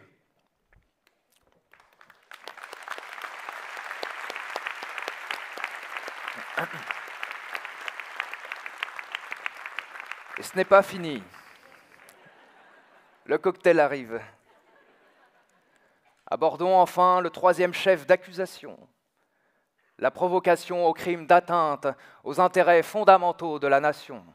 Ajoutons à cela le crime de lèse-majesté, délit malheureusement abrogé en 1832, aux grandes dames de nos délicieux émours et autres nostalgiques de la brigade des mœurs. Délit rétabli spécialement pour vous ce soir, Fanny Ardant. Les faits, quels sont-ils? Vous avez franchi les limites de la bienséance en vous élevant honteusement contre l'ordre établi. Et fondamentalement, vous le savez, l'accusée aime le franc-parler, mais elle aime surtout la provocation, et la provocation publique. Et cela fait bien longtemps qu'elle a quitté les rives acidulées de la bien-pensance. En 2007, elle a ainsi fait l'éloge de Renato Curcio, le fondateur des Brigades Rouges, vous vous en souvenez, groupuscule italien des années 70, et vous le qualifiez de héros, ce qui vous a valu de choquer toute l'Italie et un dépôt de plainte. Et vos excuses publiques suite à ce scandale ne seront pas suffisantes. Plus grave encore, l'accusé a manifesté un anti-américanisme de type primaire. Lors de la promotion de son film Le divan de Staline en 2017, Fanny Ardant a attaqué la corporation des journalistes, je cite, laquais de l'Amérique, et soumis à la bien-pensance et à la pensée unique. Elle se félicitait aussi du contre-pouvoir exercé par la Russie de Vladimir Poutine. Vous critiquez donc dans le même temps les médias, erreur, et l'Amérique, scandale, déclaration pour laquelle vous avez obtenu le soutien de Russia Today et de manière moins étonnante du magazine d'extrême gauche Valeurs Actuelles. Mais vous le saviez pourtant, vous le saviez, l'Amérique est notre plus vieil allié. Et il est bien plus que cela. L'Amérique, c'est la première démocratie au monde. Et ce n'est pas rien. Les guerres qu'elle entreprend sont légitimes et juridiquement certifiées compatibles avec les conventions de Genève. Convention qui, comme chacun le sait, ne s'applique qu'au seul canton de Genève. Win. The yes needs the no to win against the no. Il faut respecter l'impérialisme américain et le chérir. Le critiquer s'apparente donc à un crime de lèse-majesté, ou plutôt de lèse-majesty. Tant de défense troublante du Kremlin, donc, qui laisse entrevoir une certaine forme d'intelligence avec l'ennemi des USA. Mesdames, Messieurs les jurés, derrière des dehors séduisants et envoûtants, Fanny Ardant vous trompe. Elle pactise en secret avec Vladimir Poutine. Et on dit même en haut lieu qu'elle aurait quelque chose à voir avec l'annexion de la Crimée et avec l'actuel projet d'invasion de l'Ukraine. Ce crime est-il intentionnel? Assurément. Pour bien comprendre les motivations de notre accusé, il faut se pencher cette fois sur ses lectures d'enfance. Elle était fascinée par la culture russe depuis son adolescence. Lecture compulsive des grands auteurs russes, Dostoïevski, Tolstoï et j'en passe. Et jeune, elle a même déclaré, elle a même déclaré qu'elle admirait les bolcheviks. L'affaire est pliée. Mais ce n'est pas tout, il reste un dernier point, celui de ses fréquentations. Fanny Ardant, vous vous êtes entourée de personnalités infréquentables. Oscar Wilde disait Dis-moi qui tu hantes, et je te dirai qui tu es. Et Aya Nakamura de compléter Blablabla bla bla de la Pouki, ferme la porte, t'as la Pouki dans le side.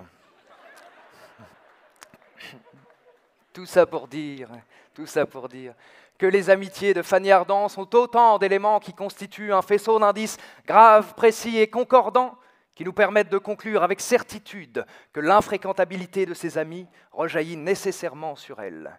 Fanny Ardant aime les voyous, manifestement.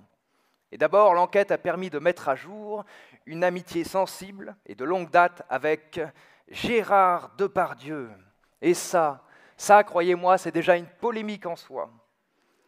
Vous avez déclaré Je partage avec Gérard Depardieu une indépendance d'esprit. C'est mal. Depuis la femme d'à côté, vous avez à plusieurs reprises partagé l'écran avec cet exilé fiscal, un délinquant de la route multirécidiviste, qui n'a d'ailleurs pas accepté notre invitation à être accusé ce soir, et cet affront sera retenu contre lui. Croyez-moi, encore un homme soupçonné d'intelligence avec la Russie, les taux se resserrent, Fanny Ardant. On ne veut demander pourtant pas grand-chose. Vous aviez parfaitement le droit d'être ami avec ces braves gens bien sous tout rapport, avec des Voulzy et autres Jean-Pierre Pernaud. D'ailleurs, Jean-Pierre, si tu nous regardes, je te salue bien bas.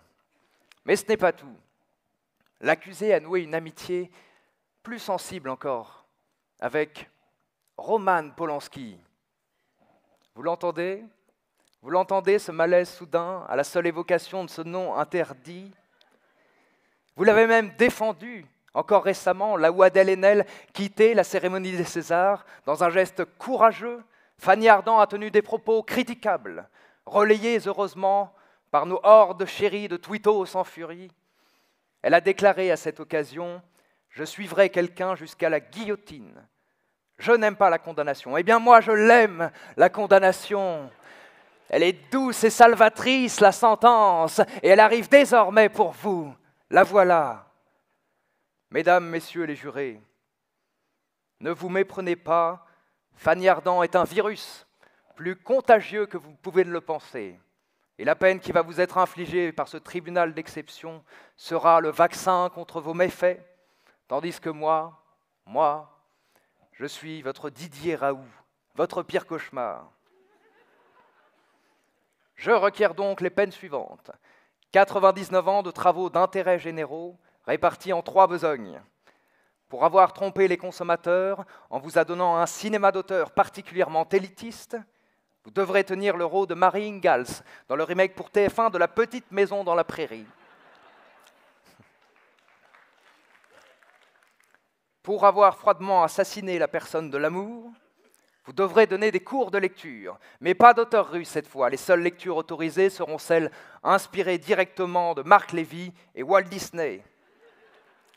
Et enfin, pour avoir commis des actes répétés de provocation au crime d'atteinte aux intérêts fondamentaux de la nation, vous deviendrez la nouvelle égérie de l'oncle Sam, tant de fans. Et tous les profits engendrés seront reversés à l'armée américaine. Voilà. Voilà. Voilà enfin l'instant. L'instant ultime où je retire mon masque d'accusateur. Car derrière cette aube noire qui me protège, j'ose enfin être moi-même et j'ose mes sentiments. Et vous le savez fort bien, pour avoir lu Dostoïevski, entre la haine et l'amour, il n'y a qu'un pas. Alors j'ose espérer que vous aurez pris la mesure de l'émoi qui m'anime ce soir, car vous m'avez envoûté par votre regard et par votre voix.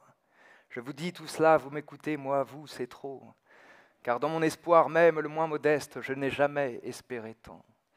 Fanny Ardant, je voudrais vous faire une confidence, c'est qu'en moi, mon cœur de mon esprit toujours s'habille par pudeur. Comme la comtesse de Blaillac que vous incarniez dans Ridicule, vous savez que l'esprit peut être une arme redoutable, mais qu'il peut aussi cacher bien des choses. Ah, l'esprit, je le hais dans l'amour. C'est un crime lorsqu'on aime de trop prolonger cet escrime. Le moment vient d'ailleurs, inévitablement, où nous sentons qu'en nous un amour noble existe, que chaque joli mot que nous disons rend triste. Fanny Ardant, j'ai vu des cieux s'ouvrir au murmure de votre voix, et je ne peux plus garder en moi tous ces mots retenus. Alors tous ceux, tous ceux, tous ceux qui me viendront, je vais vous les jeter en touffe, sans les mettre en bouquet. Je vous aime, j'étouffe, je t'aime, je suis fou, je n'en peux plus, c'est trop.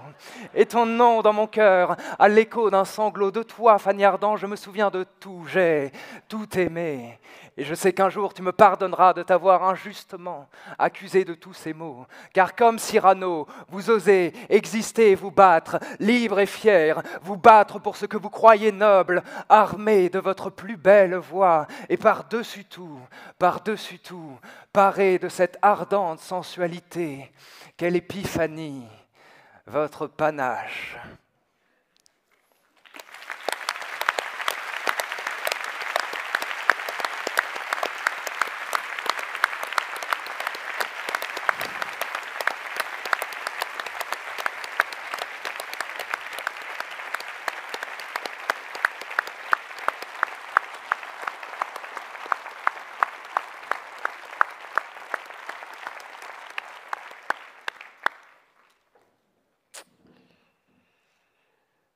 Donne maintenant la parole à l'avocat de la défense, Maître Devara. Monsieur le Président, Messieurs de la Cour, Mesdames et Messieurs les jurés, Fanny Ardant a tout, juché au sommet de sa carrière, auréolée de l'admiration de ses pairs, que vient-elle faire dans la galère de Nanterre? Mais il est un temps où la multiplication des honneurs et des hommages lasse. En contemplant la futilité des vanités avec les yeux de l'éternité, qu'a-t-on à perdre à être jugé? C'est pourquoi Fanny Ardant ne s'est pas dérobée. Bien plus, elle a même souhaité ce procès. Dans un pays de 66 millions de procureurs, chaque tête qui dépasse suscite de secrètes envies et de bruyantes critiques. Louis XIV est poursuivi par la postérité pour le drame du masque de fer, Napoléon pour l'assassinat du duc d'Anguin, De Gaulle pour la tragédie des Harkis. Ils seront poursuivis à ces titres jusqu'à la fin des temps. Ils n'ont pas eu leur procès, ils n'ont pas pu présenter leur défense. A contrario, il est des procès qui viennent transformer une épopée en destinée. Ils éclairent tout à la fois le passé et le futur. Que serait Jeanne d'Arc sans son procès? Le procès de Jeanne, c'est le début de la rédaction de son épopée.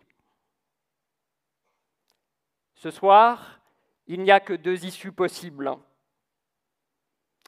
Soit l'acquittement, la décision sera opposable alors non seulement à cette Cour, mais aussi à la postérité. Les procureurs amateurs y trouveront de quoi refroidir leurs ardeurs.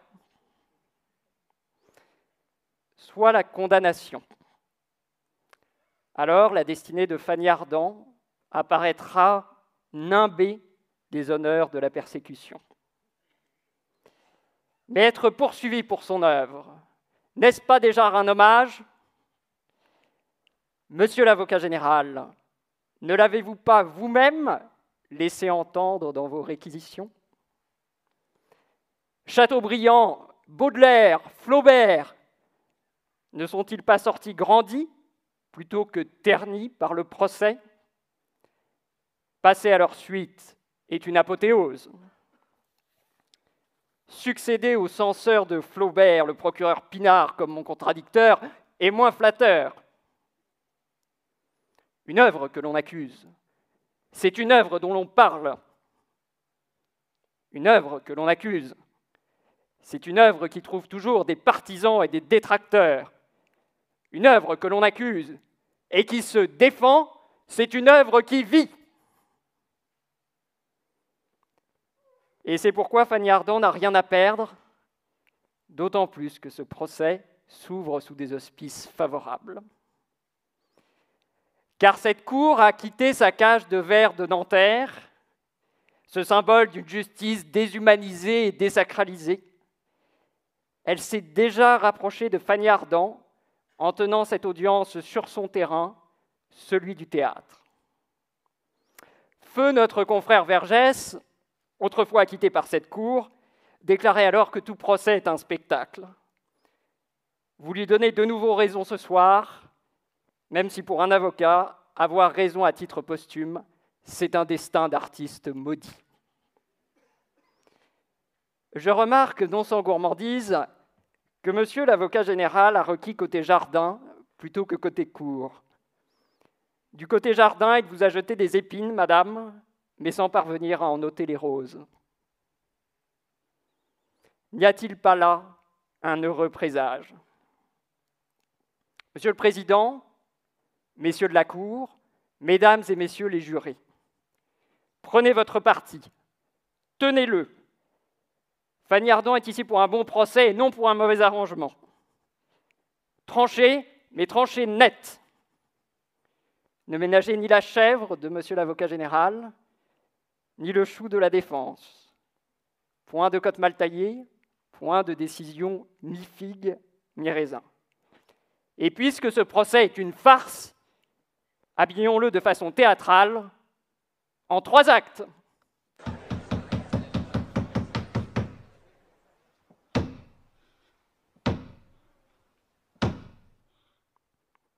Acte 1, l'art est en dehors du commerce.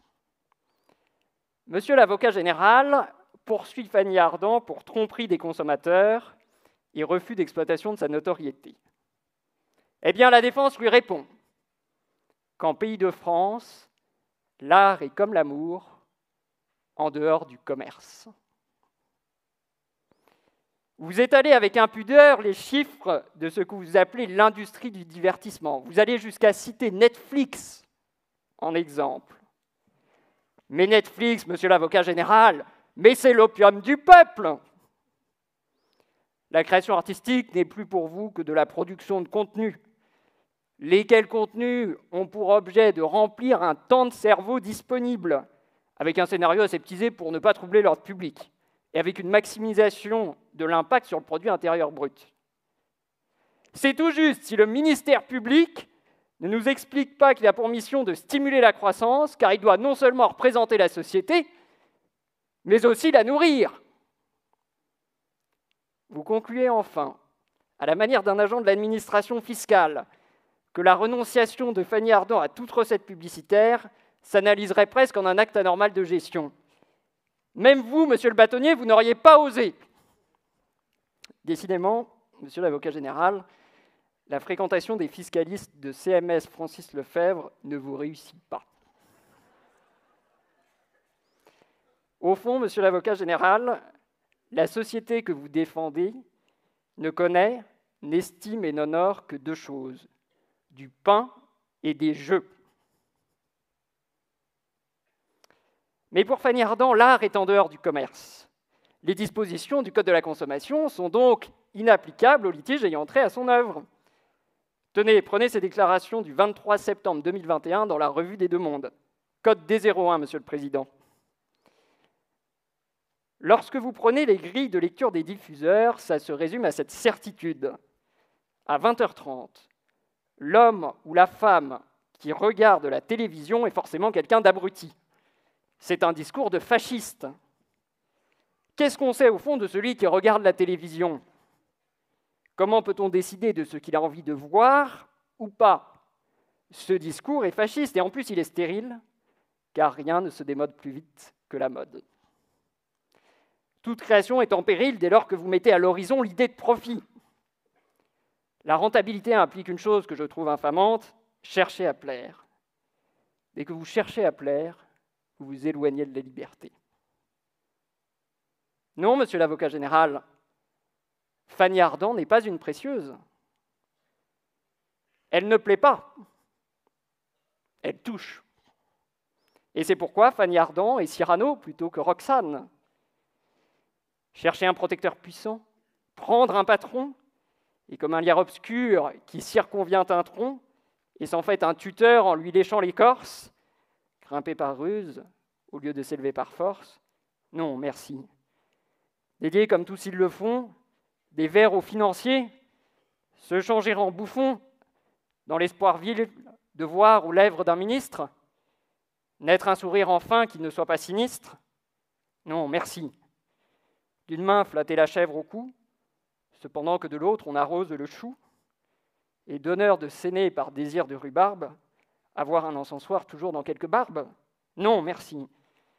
Ne découvrir du talent qu'aux mazettes, être terrorisé par de vagues gazettes, et se dire sans cesse Oh, pourvu que je sois dans les petits papiers du Mercure François. Non, merci. Calculer, avoir peur, être blême, Préférer faire une visite qu'un poème, rédiger des placets, se faire présenter. Non merci. Non merci. Non merci. Acte 2. Tentative d'assassinat par l'amour. Monsieur l'avocat général vous a dépeint une Fanny Ardant empoisonneuse de l'amour tout au long de sa carrière. Il a fait de, chaque apparition de Fanny un jalon sur le chemin du crime. Le paroxysme serait atteint dans la femme d'à côté, où Fanny Ardant incarne une éternellement insatisfaite, tuant l'homme qu'elle aime. Le parquet vous la présente comme une femme fatale, avec une main ensanglantée, que toutes les essences d'Arabie ne pourraient laver. À ses pieds, l'amour gît, expirant. Eh bien, la défense fait d'abord observer qu'en dépit des recherches insistantes du ministère public, le cadavre de l'amour n'a jamais été retrouvé. Cela devrait suffire à la Cour pour acquitter Fanny Ardant au bénéfice du doute. Oui, monsieur l'avocat général, j'aurais pu également plaider l'irresponsabilité pénale de Fanny Ardant, sa passion dévorante ayant aboli son discernement, alors même qu'elle donnait la mort à l'amour sans intention de la donner. Oui, monsieur l'avocat général, j'aurais pu me livrer à une telle démonstration.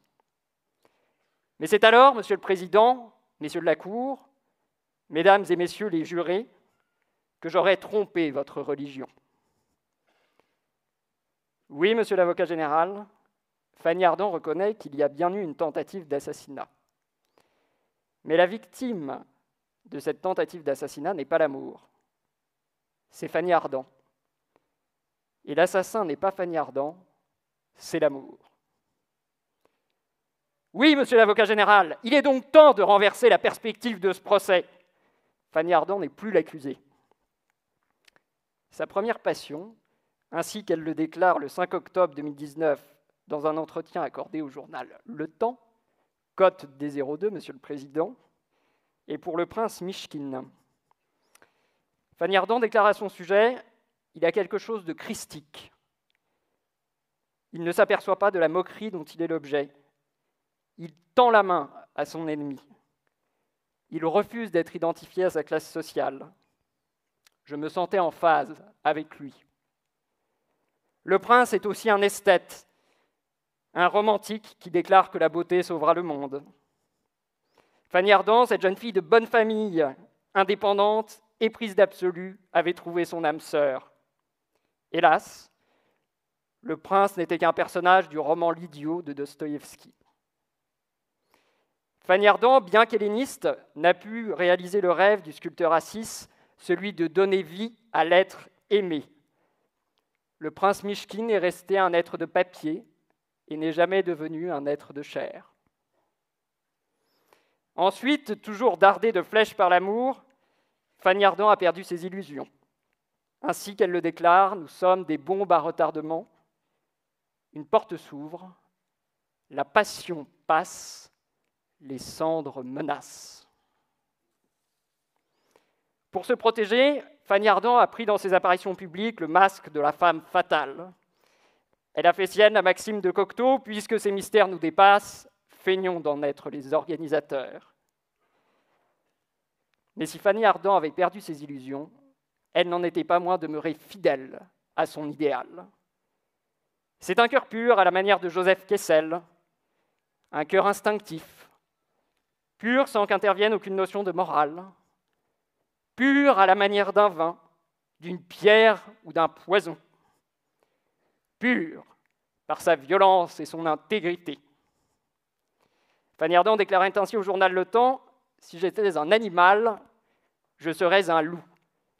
Je me méfie moi aussi de la société. Et puis j'aime son aristocratie sauvage. Je sais aussi qu'il n'a qu'une seule femme toute sa vie. Ça me plaît. C'est beau. Fanny Ardant ne cesse de mourir d'amour. Sa carrière, c'est la mise en abîme de cette agonie. Alors, Monsieur le Président, je sais qu'une question vous brûle les lèvres. Pourquoi Fanny Ardant ne s'est-elle pas constituée partie civile? Eh bien, parce que l'amour est pour Fanny Ardant une blessure inguérissable et nécessaire. Si vous condamnez l'amour pour guérir Fanny Ardant, alors, comme dans Molière, vous tuerez la fièvre en tuant le malade. Si vous en blâmiez Fanny Ardant, Monsieur le Président, alors elle vous répondrait avec Aragon Criez à qui vous veut blâmer. Heureux celui qui meurt d'aimer. Heureux celui qui meurt d'aimer. Acte 3. La protection des intérêts fondamentaux de la nation. Monsieur l'avocat général incrimine l'atteinte aux intérêts fondamentaux de la nation. Il blâme une russophilie aiguë, un anti-américanisme primaire et des fréquentations douteuses. Mais Fanny Ardant est une artiste. La Russie est sa muse, les États-Unis son ennui. Ah, la Russie. Vous l'avez compris, mesdames et messieurs les jurés, pour Fanny Ardant, la Russie, c'est d'abord cet amour de jeunesse, le prince Mishkin. La Russie, ce sont aussi des voix, celles qu'elle a entendues dans les nuits de Sibérie de Kessel, ces voix russes quand elles parlent d'amour, de vin, de neige, de guerre ou de galop en troïka. Alors le vent de la course, la chaleur du combat, la blancheur des plaines, l'extase de l'ivresse et la brûlure luxurieuse pénètrent dans l'âme en flot pressé, tumultueux, vivant. Pour Fanny Ardant, il faut que l'horreur et le sacré se mélangent, qu'on touche au sublime. Or, en quel lieu de la terre cette injonction s'incarne-t-elle mieux qu'en Russie? Entre les solitudes glacées de la Sibérie et les terres brûlées du Kamtchatka, l'histoire ne peut être un long fleuve tranquille. Plus que partout ailleurs, l'horreur s'agrippe au sacré, la brutalité harcèle le raffinement. Les fondements des palais de Saint-Pétersbourg ne sont-ils pas les ossements des prisonniers de Pierre le Grand? Cette terre de contraste et de contradiction, de résignation et d'héroïsme, où les passions sont exacerbées, où l'on peut se heurter au sublime, a fasciné Fanny Ardant. Elle aime la Russie par-delà Poutine, comme le général de Gaulle admirait la Russie par-delà l'URSS. Quel crime y a-t-il donc à cela? Non, monsieur l'avocat général, Fanny Ardant n'est pas l'agent du Kremlin, l'espionne qui venait du froid. La seule réalisation du film Le divan de Staline, mettant en scène la fragilité et la cruauté du tsar rouge à son crépuscule, suffirait à la faire envoyer en Sibérie. Mais Fanny Ardant reconnaît à la Russie de Poutine un rôle de contre-pouvoir, un frein salutaire à l'ennui américain. N'est-ce pas là une vision, somme toute, très gaulienne Or, chacun en France a été, est ou sera un jour gaulliste, pour reprendre le mot d'un président de la quatrième République, François Hollande. Par conséquent, criminaliser cette position reviendrait pour la Cour à considérer la France comme la 51e étoile du drapeau américain.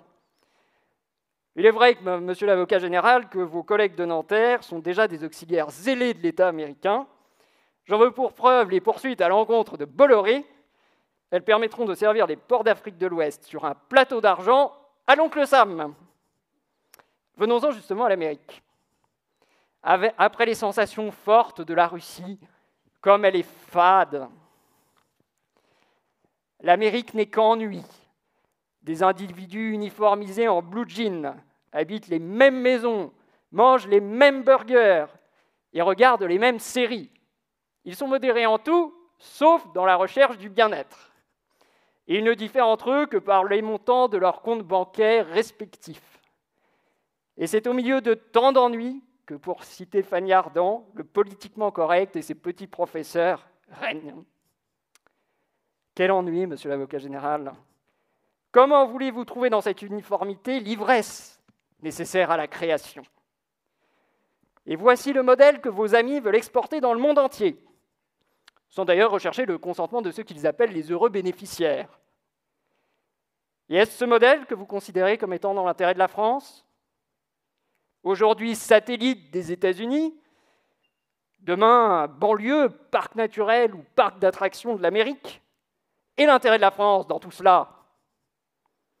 Eh bien, il faut suivre la voie de l'indépendance, pratiquer l'insolence à l'égard des puissants et la tendresse à l'égard des vaincus comme Fanny. Vous aimez Baudelaire, monsieur l'avocat général Eh bien, voyez comment Fanny pratique l'aristocratique plaisir de déplaire. Paris, 1er juillet 2021, salle à manger du Cercle de l'Union interalliée. À quelques jours de la fête nationale américaine, autour de l'ambassadeur des États-Unis, se pressent notables et notoires. Ils viennent quémander une invitation pour la garden party de son Excellence. Après avoir salué la disparition de l'ogre Trump, comme il est d'usage, les dévots de la mondialisation heureuse ont appelé à retisser le lien transatlantique. Mais il vient un moment où, faute de contradiction, la conversation s'enlise dans les sables du mondainement correct. C'est ce moment que choisit Fanny Ardant pour poivrer ce dîner trop sage. N'allez pas imaginer qu'elle ait déclaré aux convives, comme Eva dans Pédale douce, Je préfère dîner avec des travestis plutôt qu'avec des cafards. Non, le coup fut encore plus tranchant. Fanny Ardant, placée à la droite de son Excellence, déclare alors C'est l'alliance de l'hiver et du rouleau compresseur russe qui ont fait plier l'Allemagne en 1945, les États-Unis ont eu un rôle de supplétif. Le silence se fait. Les petits marquis restent interdits devant ce gant jeté à la face de l'ambassadeur de la première puissance du monde. Son Excellence sort de sa condescendance polie à l'égard de ses sujets français. Le duel peut commencer voilà que le dîner devient intéressant. Cette indépendance, ce tempérament frondeur se rencontre aussi dans le choix de ses amis. Vous incriminez des fréquentations douteuses, monsieur l'avocat général. Je vous ramène au principe de personnalité des peines. Et au-delà, j'invoquerai le précédent suprême. Le Christ n'avait-il pas un personnage douteux parmi ses disciples? Monsieur le Président, Messieurs de la Cour, Mesdames et Messieurs les jurés, avec Fanny Ardant, l'art est en dehors du commerce. Elle ne saurait donc être condamnée pour tromperie. Avec Fanny Ardant, l'assassin est l'amour. Elle ne saurait donc être condamnée pour assassinat. Avec Fanny Ardant, les intérêts fondamentaux de la nation ne sont pas menacés, mais au contraire bien protégés. Elle ne saurait donc être condamnée pour leur avoir porté atteinte. face aux attaques de l'accusation. Tel le marquis de Montcalm, résistant aux assauts de nos ennemis anglais sous les murs de Québec, elle fait sienne sa devise, son innocence et sa forteresse.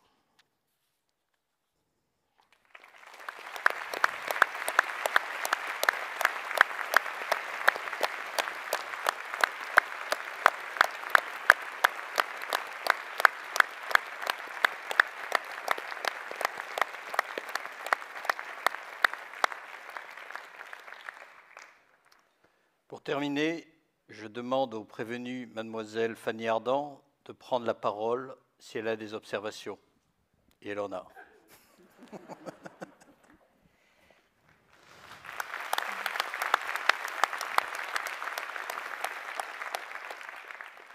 J'ai longtemps cru que les avocats et les acteurs étaient semblables.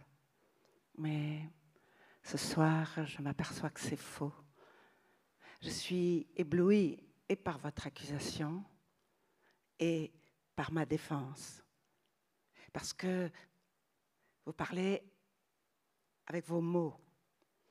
Moi, je ne sais dire que les mots des autres.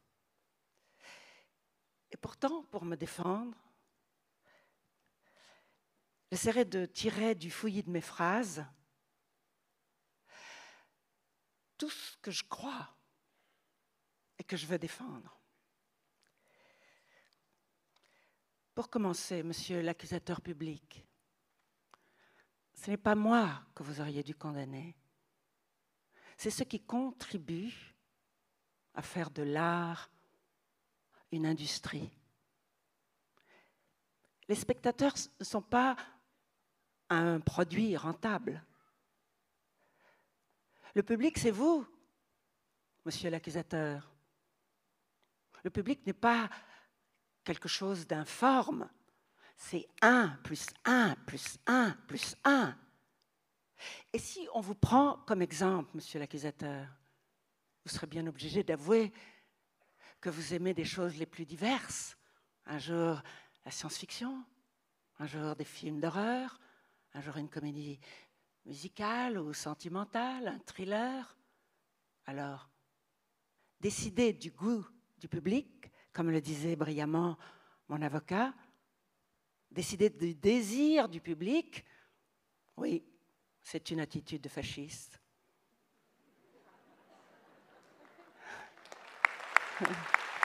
C'est une attitude euh, réductive et méprisante. Si je pense que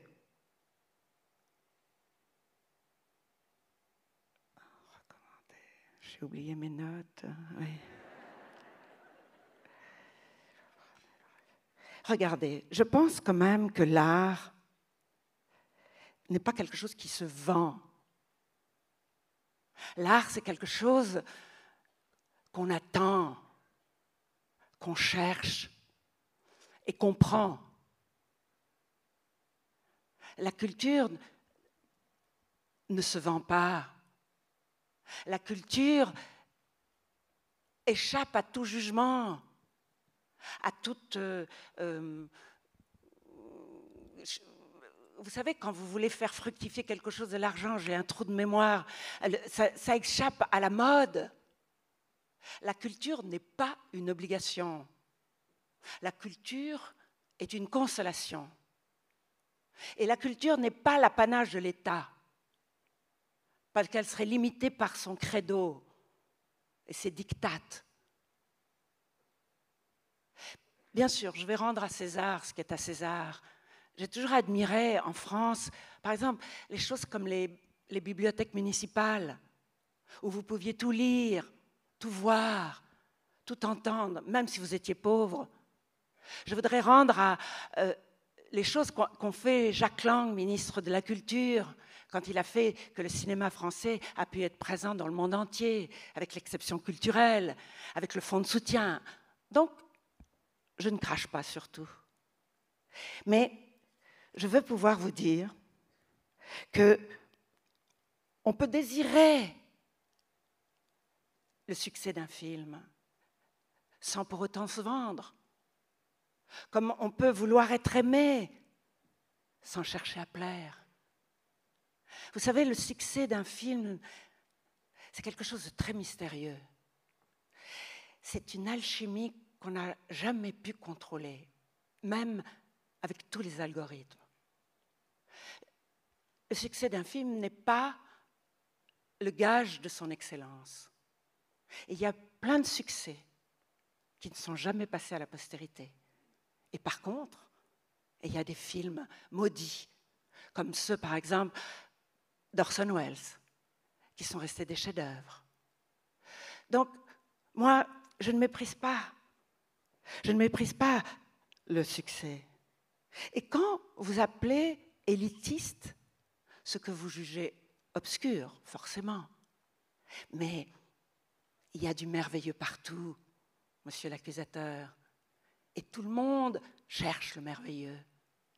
Et quand arrive le merveilleux, c'est toujours d'une façon irrationnelle, énigmatique et poétique, pas obscure et pas élitiste. Je voudrais vous dire aussi que dans le choix que j'ai des histoires tragiques, je ne crois pas que le tragique désespère. Le tragique élargit la vie. C'est celui qui regarde une histoire tragique, curieusement celui qui la regarde, cette histoire tragique, celui qui l'écoute, il devient lucide, il devient, euh, il veut être responsable. Il y a quelque chose qui le réveille de son endormissement. Seul le tragique réveille l'être humain, parce qu'il est obligé de choisir son camp.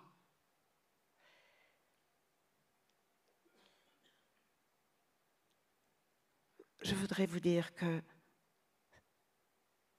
je ne méprise pas le succès, mais je ne me vendrai jamais. Je ne serai jamais exploité comme une mine de charbon ou comme un gisement de pétrole. La terre appartient à celui qui la travaille. Et j'ai choisi ma terre. Et ma terre ne m'a jamais abandonnée. Il y a des années où rien ne pousse, et il y a des années prospères. Je m'en fiche d'être une multinationale à travers des fluides virtuels. Mais par contre, je baiserai là où ont marché les inconnus qui m'arrêtent dans la rue pour me dire qu'ils m'ont aimé. Je ne méprise pas le succès. Et vous, monsieur l'accusateur public, vous devez bien vous rendre compte que celui qui se vend pour de l'argent a le destin d'un esclave et que à celui qui crache sur cet argent lui a offert un luxe. C'est un luxe de cracher sur cet argent, mais c'est un luxe qui vous ouvre et qui vous donne un passeport pour la liberté. Ça, c'était pour votre première accusation. Pour votre deuxième accusation,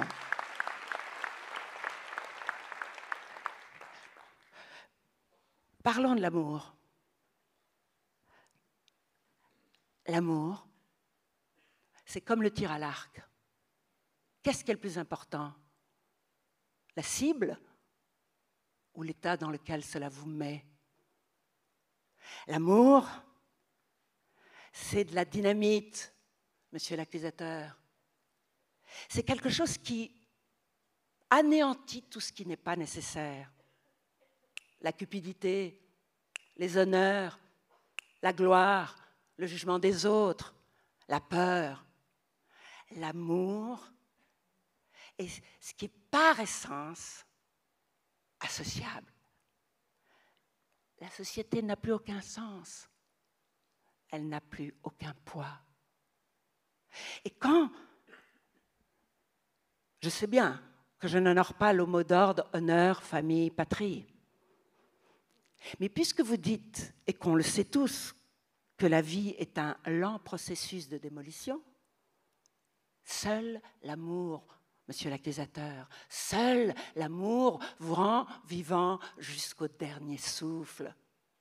Et l'amour malheureux, bien sûr, vous détruit, mais l'amour malheureux vous... Il vous reconstruit ailleurs. Et regardez une histoire d'amour malheureuse. C'est comme une lumière dans le noir pour celui qui est malheureux, parce que tout d'un coup, il ne se sent plus tout seul, il ne se sent pas perdu. Celui qui regarde cette histoire, tout d'un coup, tout, toutes ces pulsions, toutes ces, comment on pourrait dire ça, euh, euh, la complexité et, l'embroussaillement de ces émotions, grâce au film qui parle d'histoires malheureuses, prend forme et il peut se battre plus facilement. Qu'est-ce que je pourrais vous dire? Oui, avant même de connaître la passion, la vie, les amours. J'ai été beaucoup plus éduquée par la littérature et par les films que par je ne sais quelle chapelle, je ne sais quel dogme ou je ne sais quel parti politique. C'est vrai que j'ai choisi plutôt le romanesque plutôt que les leçons de morale. C'est vrai que j'ai pensé que L'amour malheureux vous protège contre tous les autres vices. Que l'amour malheureux vous protège depuis la, euh, depuis la corruption jusqu'à la soumission. Parler de l'amour malheureux, ça vous rend moins seul, moins triste. J'avais lu quelque part que quelqu'un disait que la connaissance est dans la nostalgie, que celui qui ne s'est pas perdu ne possède rien. Oui, monsieur l'accusateur, c'est vrai que je préfère le chaos à l'ordre dans la vie et dans les passions, surtout pour m'éviter d'avoir un électrocardiogramme plat et de parcourir des parcours fléchés. Je n'ai pas, je ne ressemble pas à tous les rôles que j'ai joués, mais je les ai aimés, et parce que je les ai aimés, j'ai pu les revendiquer et j'ai pu les défendre. Et si les amours désespérés ont si peu de place dans les films, mais vous le savez bien, monsieur l'accusateur, que les gens heureux n'ont pas d'histoire, alors à quoi bon?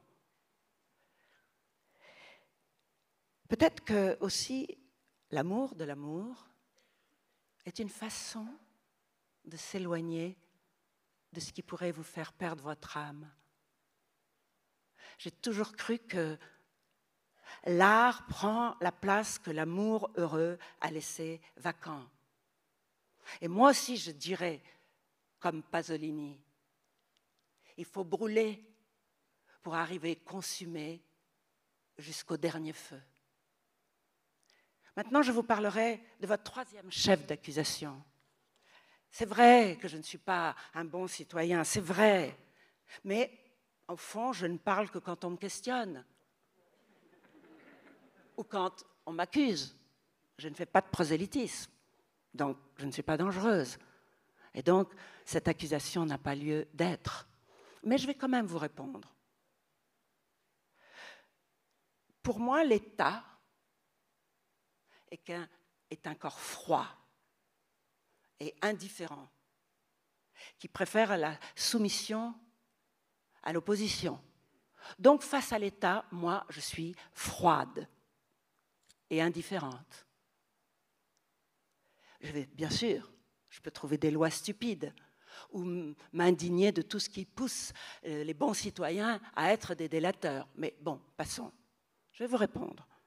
Vous me, vous me reprochez d'avoir défendu Renato Curcio, mais je ne suis même pas sûre que vous saviez exactement qui il est.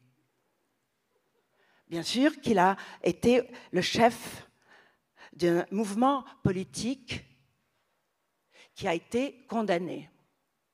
Et pour cette raison, vous le jugez criminel.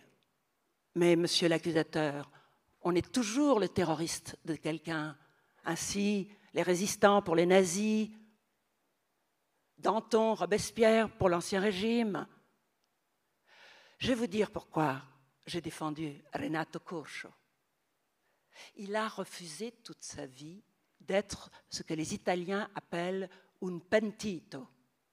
Et le pentito, c'est celui qui accepte de dénoncer ses amis pour avoir une remise de peine. Renato Curcio, il n'a jamais parlé. Et il a fait ses 30 ans de prison. Voilà ce que j'admire. Maintenant, je vais vous parler de ce que vous m'accusez de l'anti-américanisme. Oui, c'est vrai, je suis une anti-américaine primaire.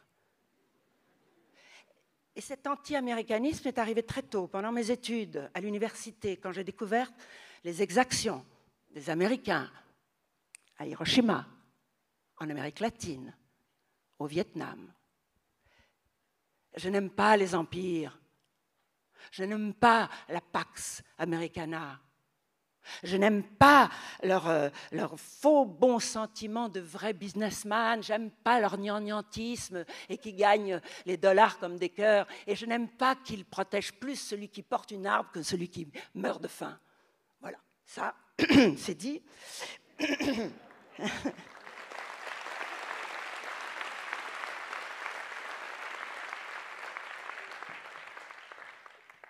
Mais en même temps, merci. En même temps, je peux dire que je n'aime pas, en règle générale, les gouvernements, qu'ils soient américains, russes, chinois. Ce que j'aime, c'est les individus. Et les individus de tous ces pays, finalement, je les ai connus grâce à leur musique, à leurs films, à leurs euh, romans, avec tout. Alors par exemple, je peux dire que j'aime les auteurs américains comme on aime ceux avec qui on va boire et danser. J'aime les auteurs russes comme ceux qui vous transfigurent, qui vous illuminent, qui vont vous briser le cœur et qu'on n'oubliera pas comme les membres de sa famille. Oui, je pense que les films et les livres entre les pays ont fait plus que d'un bon deal économique ou de bonnes relations diplomatiques. Vous m'avez reproché aussi mes fréquentations. J'ai très peu d'amis, monsieur l'accusateur. Et les peu d'amis que j'ai, je les défendrai contre vents et marées. Je sais que la plupart des crimes sont résolus grâce aux délateurs. Mais, monsieur l'accusateur, est-ce que vous prendriez au sérieux un homme qui, qui trahit son meilleur ami? Ou un père qui traîne son fils en justice? Non, je ne crois pas. Oui, c'est vrai. J'aime les voyous, j'aime les outsiders, j'aime ceux qui sortent du rang, j'aime ceux qui s'évadent. Donc, vous avez en effet votre dossier parce que je ne suis pas un bon citoyen. Mais, comme je sais que, cher accusateur public, que l'ordre se renforce toujours grâce à la peur que vous agitez, devant les bons citoyens de ces individus que j'aime. Donc, je crois que je n'aurais rien dit ce soir pour améliorer mon cas. Mais je remercie mon avocat qui m'a défendu si brillamment. Mais avant de me taire, je serai fidèle quand même à l'appel du loup. Quoi? Qu'est-ce? dit-il Rien. Quoi? Rien. Peu de choses. Mais encore. Ah Le collier dont vous me voyez attaché, de ce que vous voyez peut-être la cause. Attaché dit le loup. Vous ne courez donc pas où vous voulez Pas toujours, mais qu'importe. Il importe si bien que de tous vos repas, je ne veux en aucune sorte et nous voudrais même à ce prix d'un trésor. Sur ce, Maître Loup s'enfuit et court encore.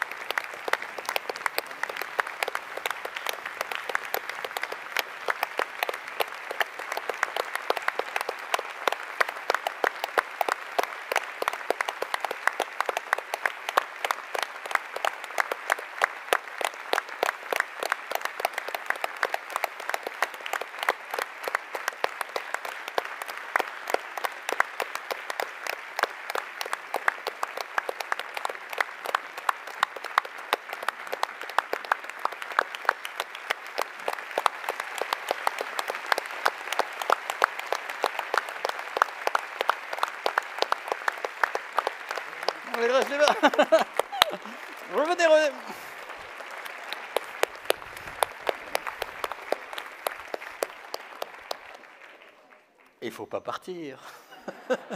Regardez cette foule en liesse. Bien, la condamnation est difficile.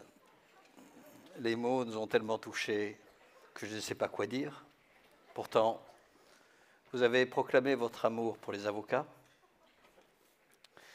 Eh bien, nous allons vous condamner, après en avoir délibéré, sérieusement, enfin les pensées circulent rapidement, à un tige. Expression de notre droit, le tige, c'est un, travail d'intérêt général. Voilà. Et donc, euh, compte tenu de votre amour pour les avocats, nous allons condamner à faire un film muet sur le secret professionnel de l'avocat.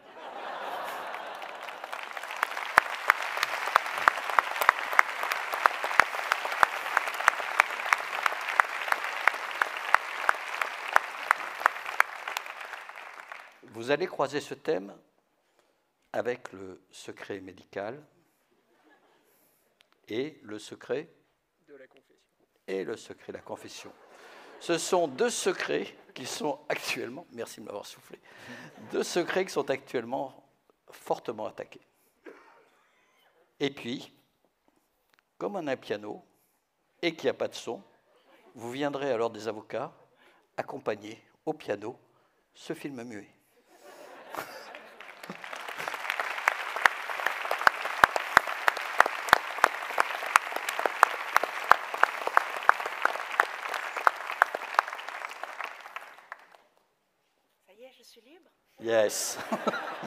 Yes. indeed.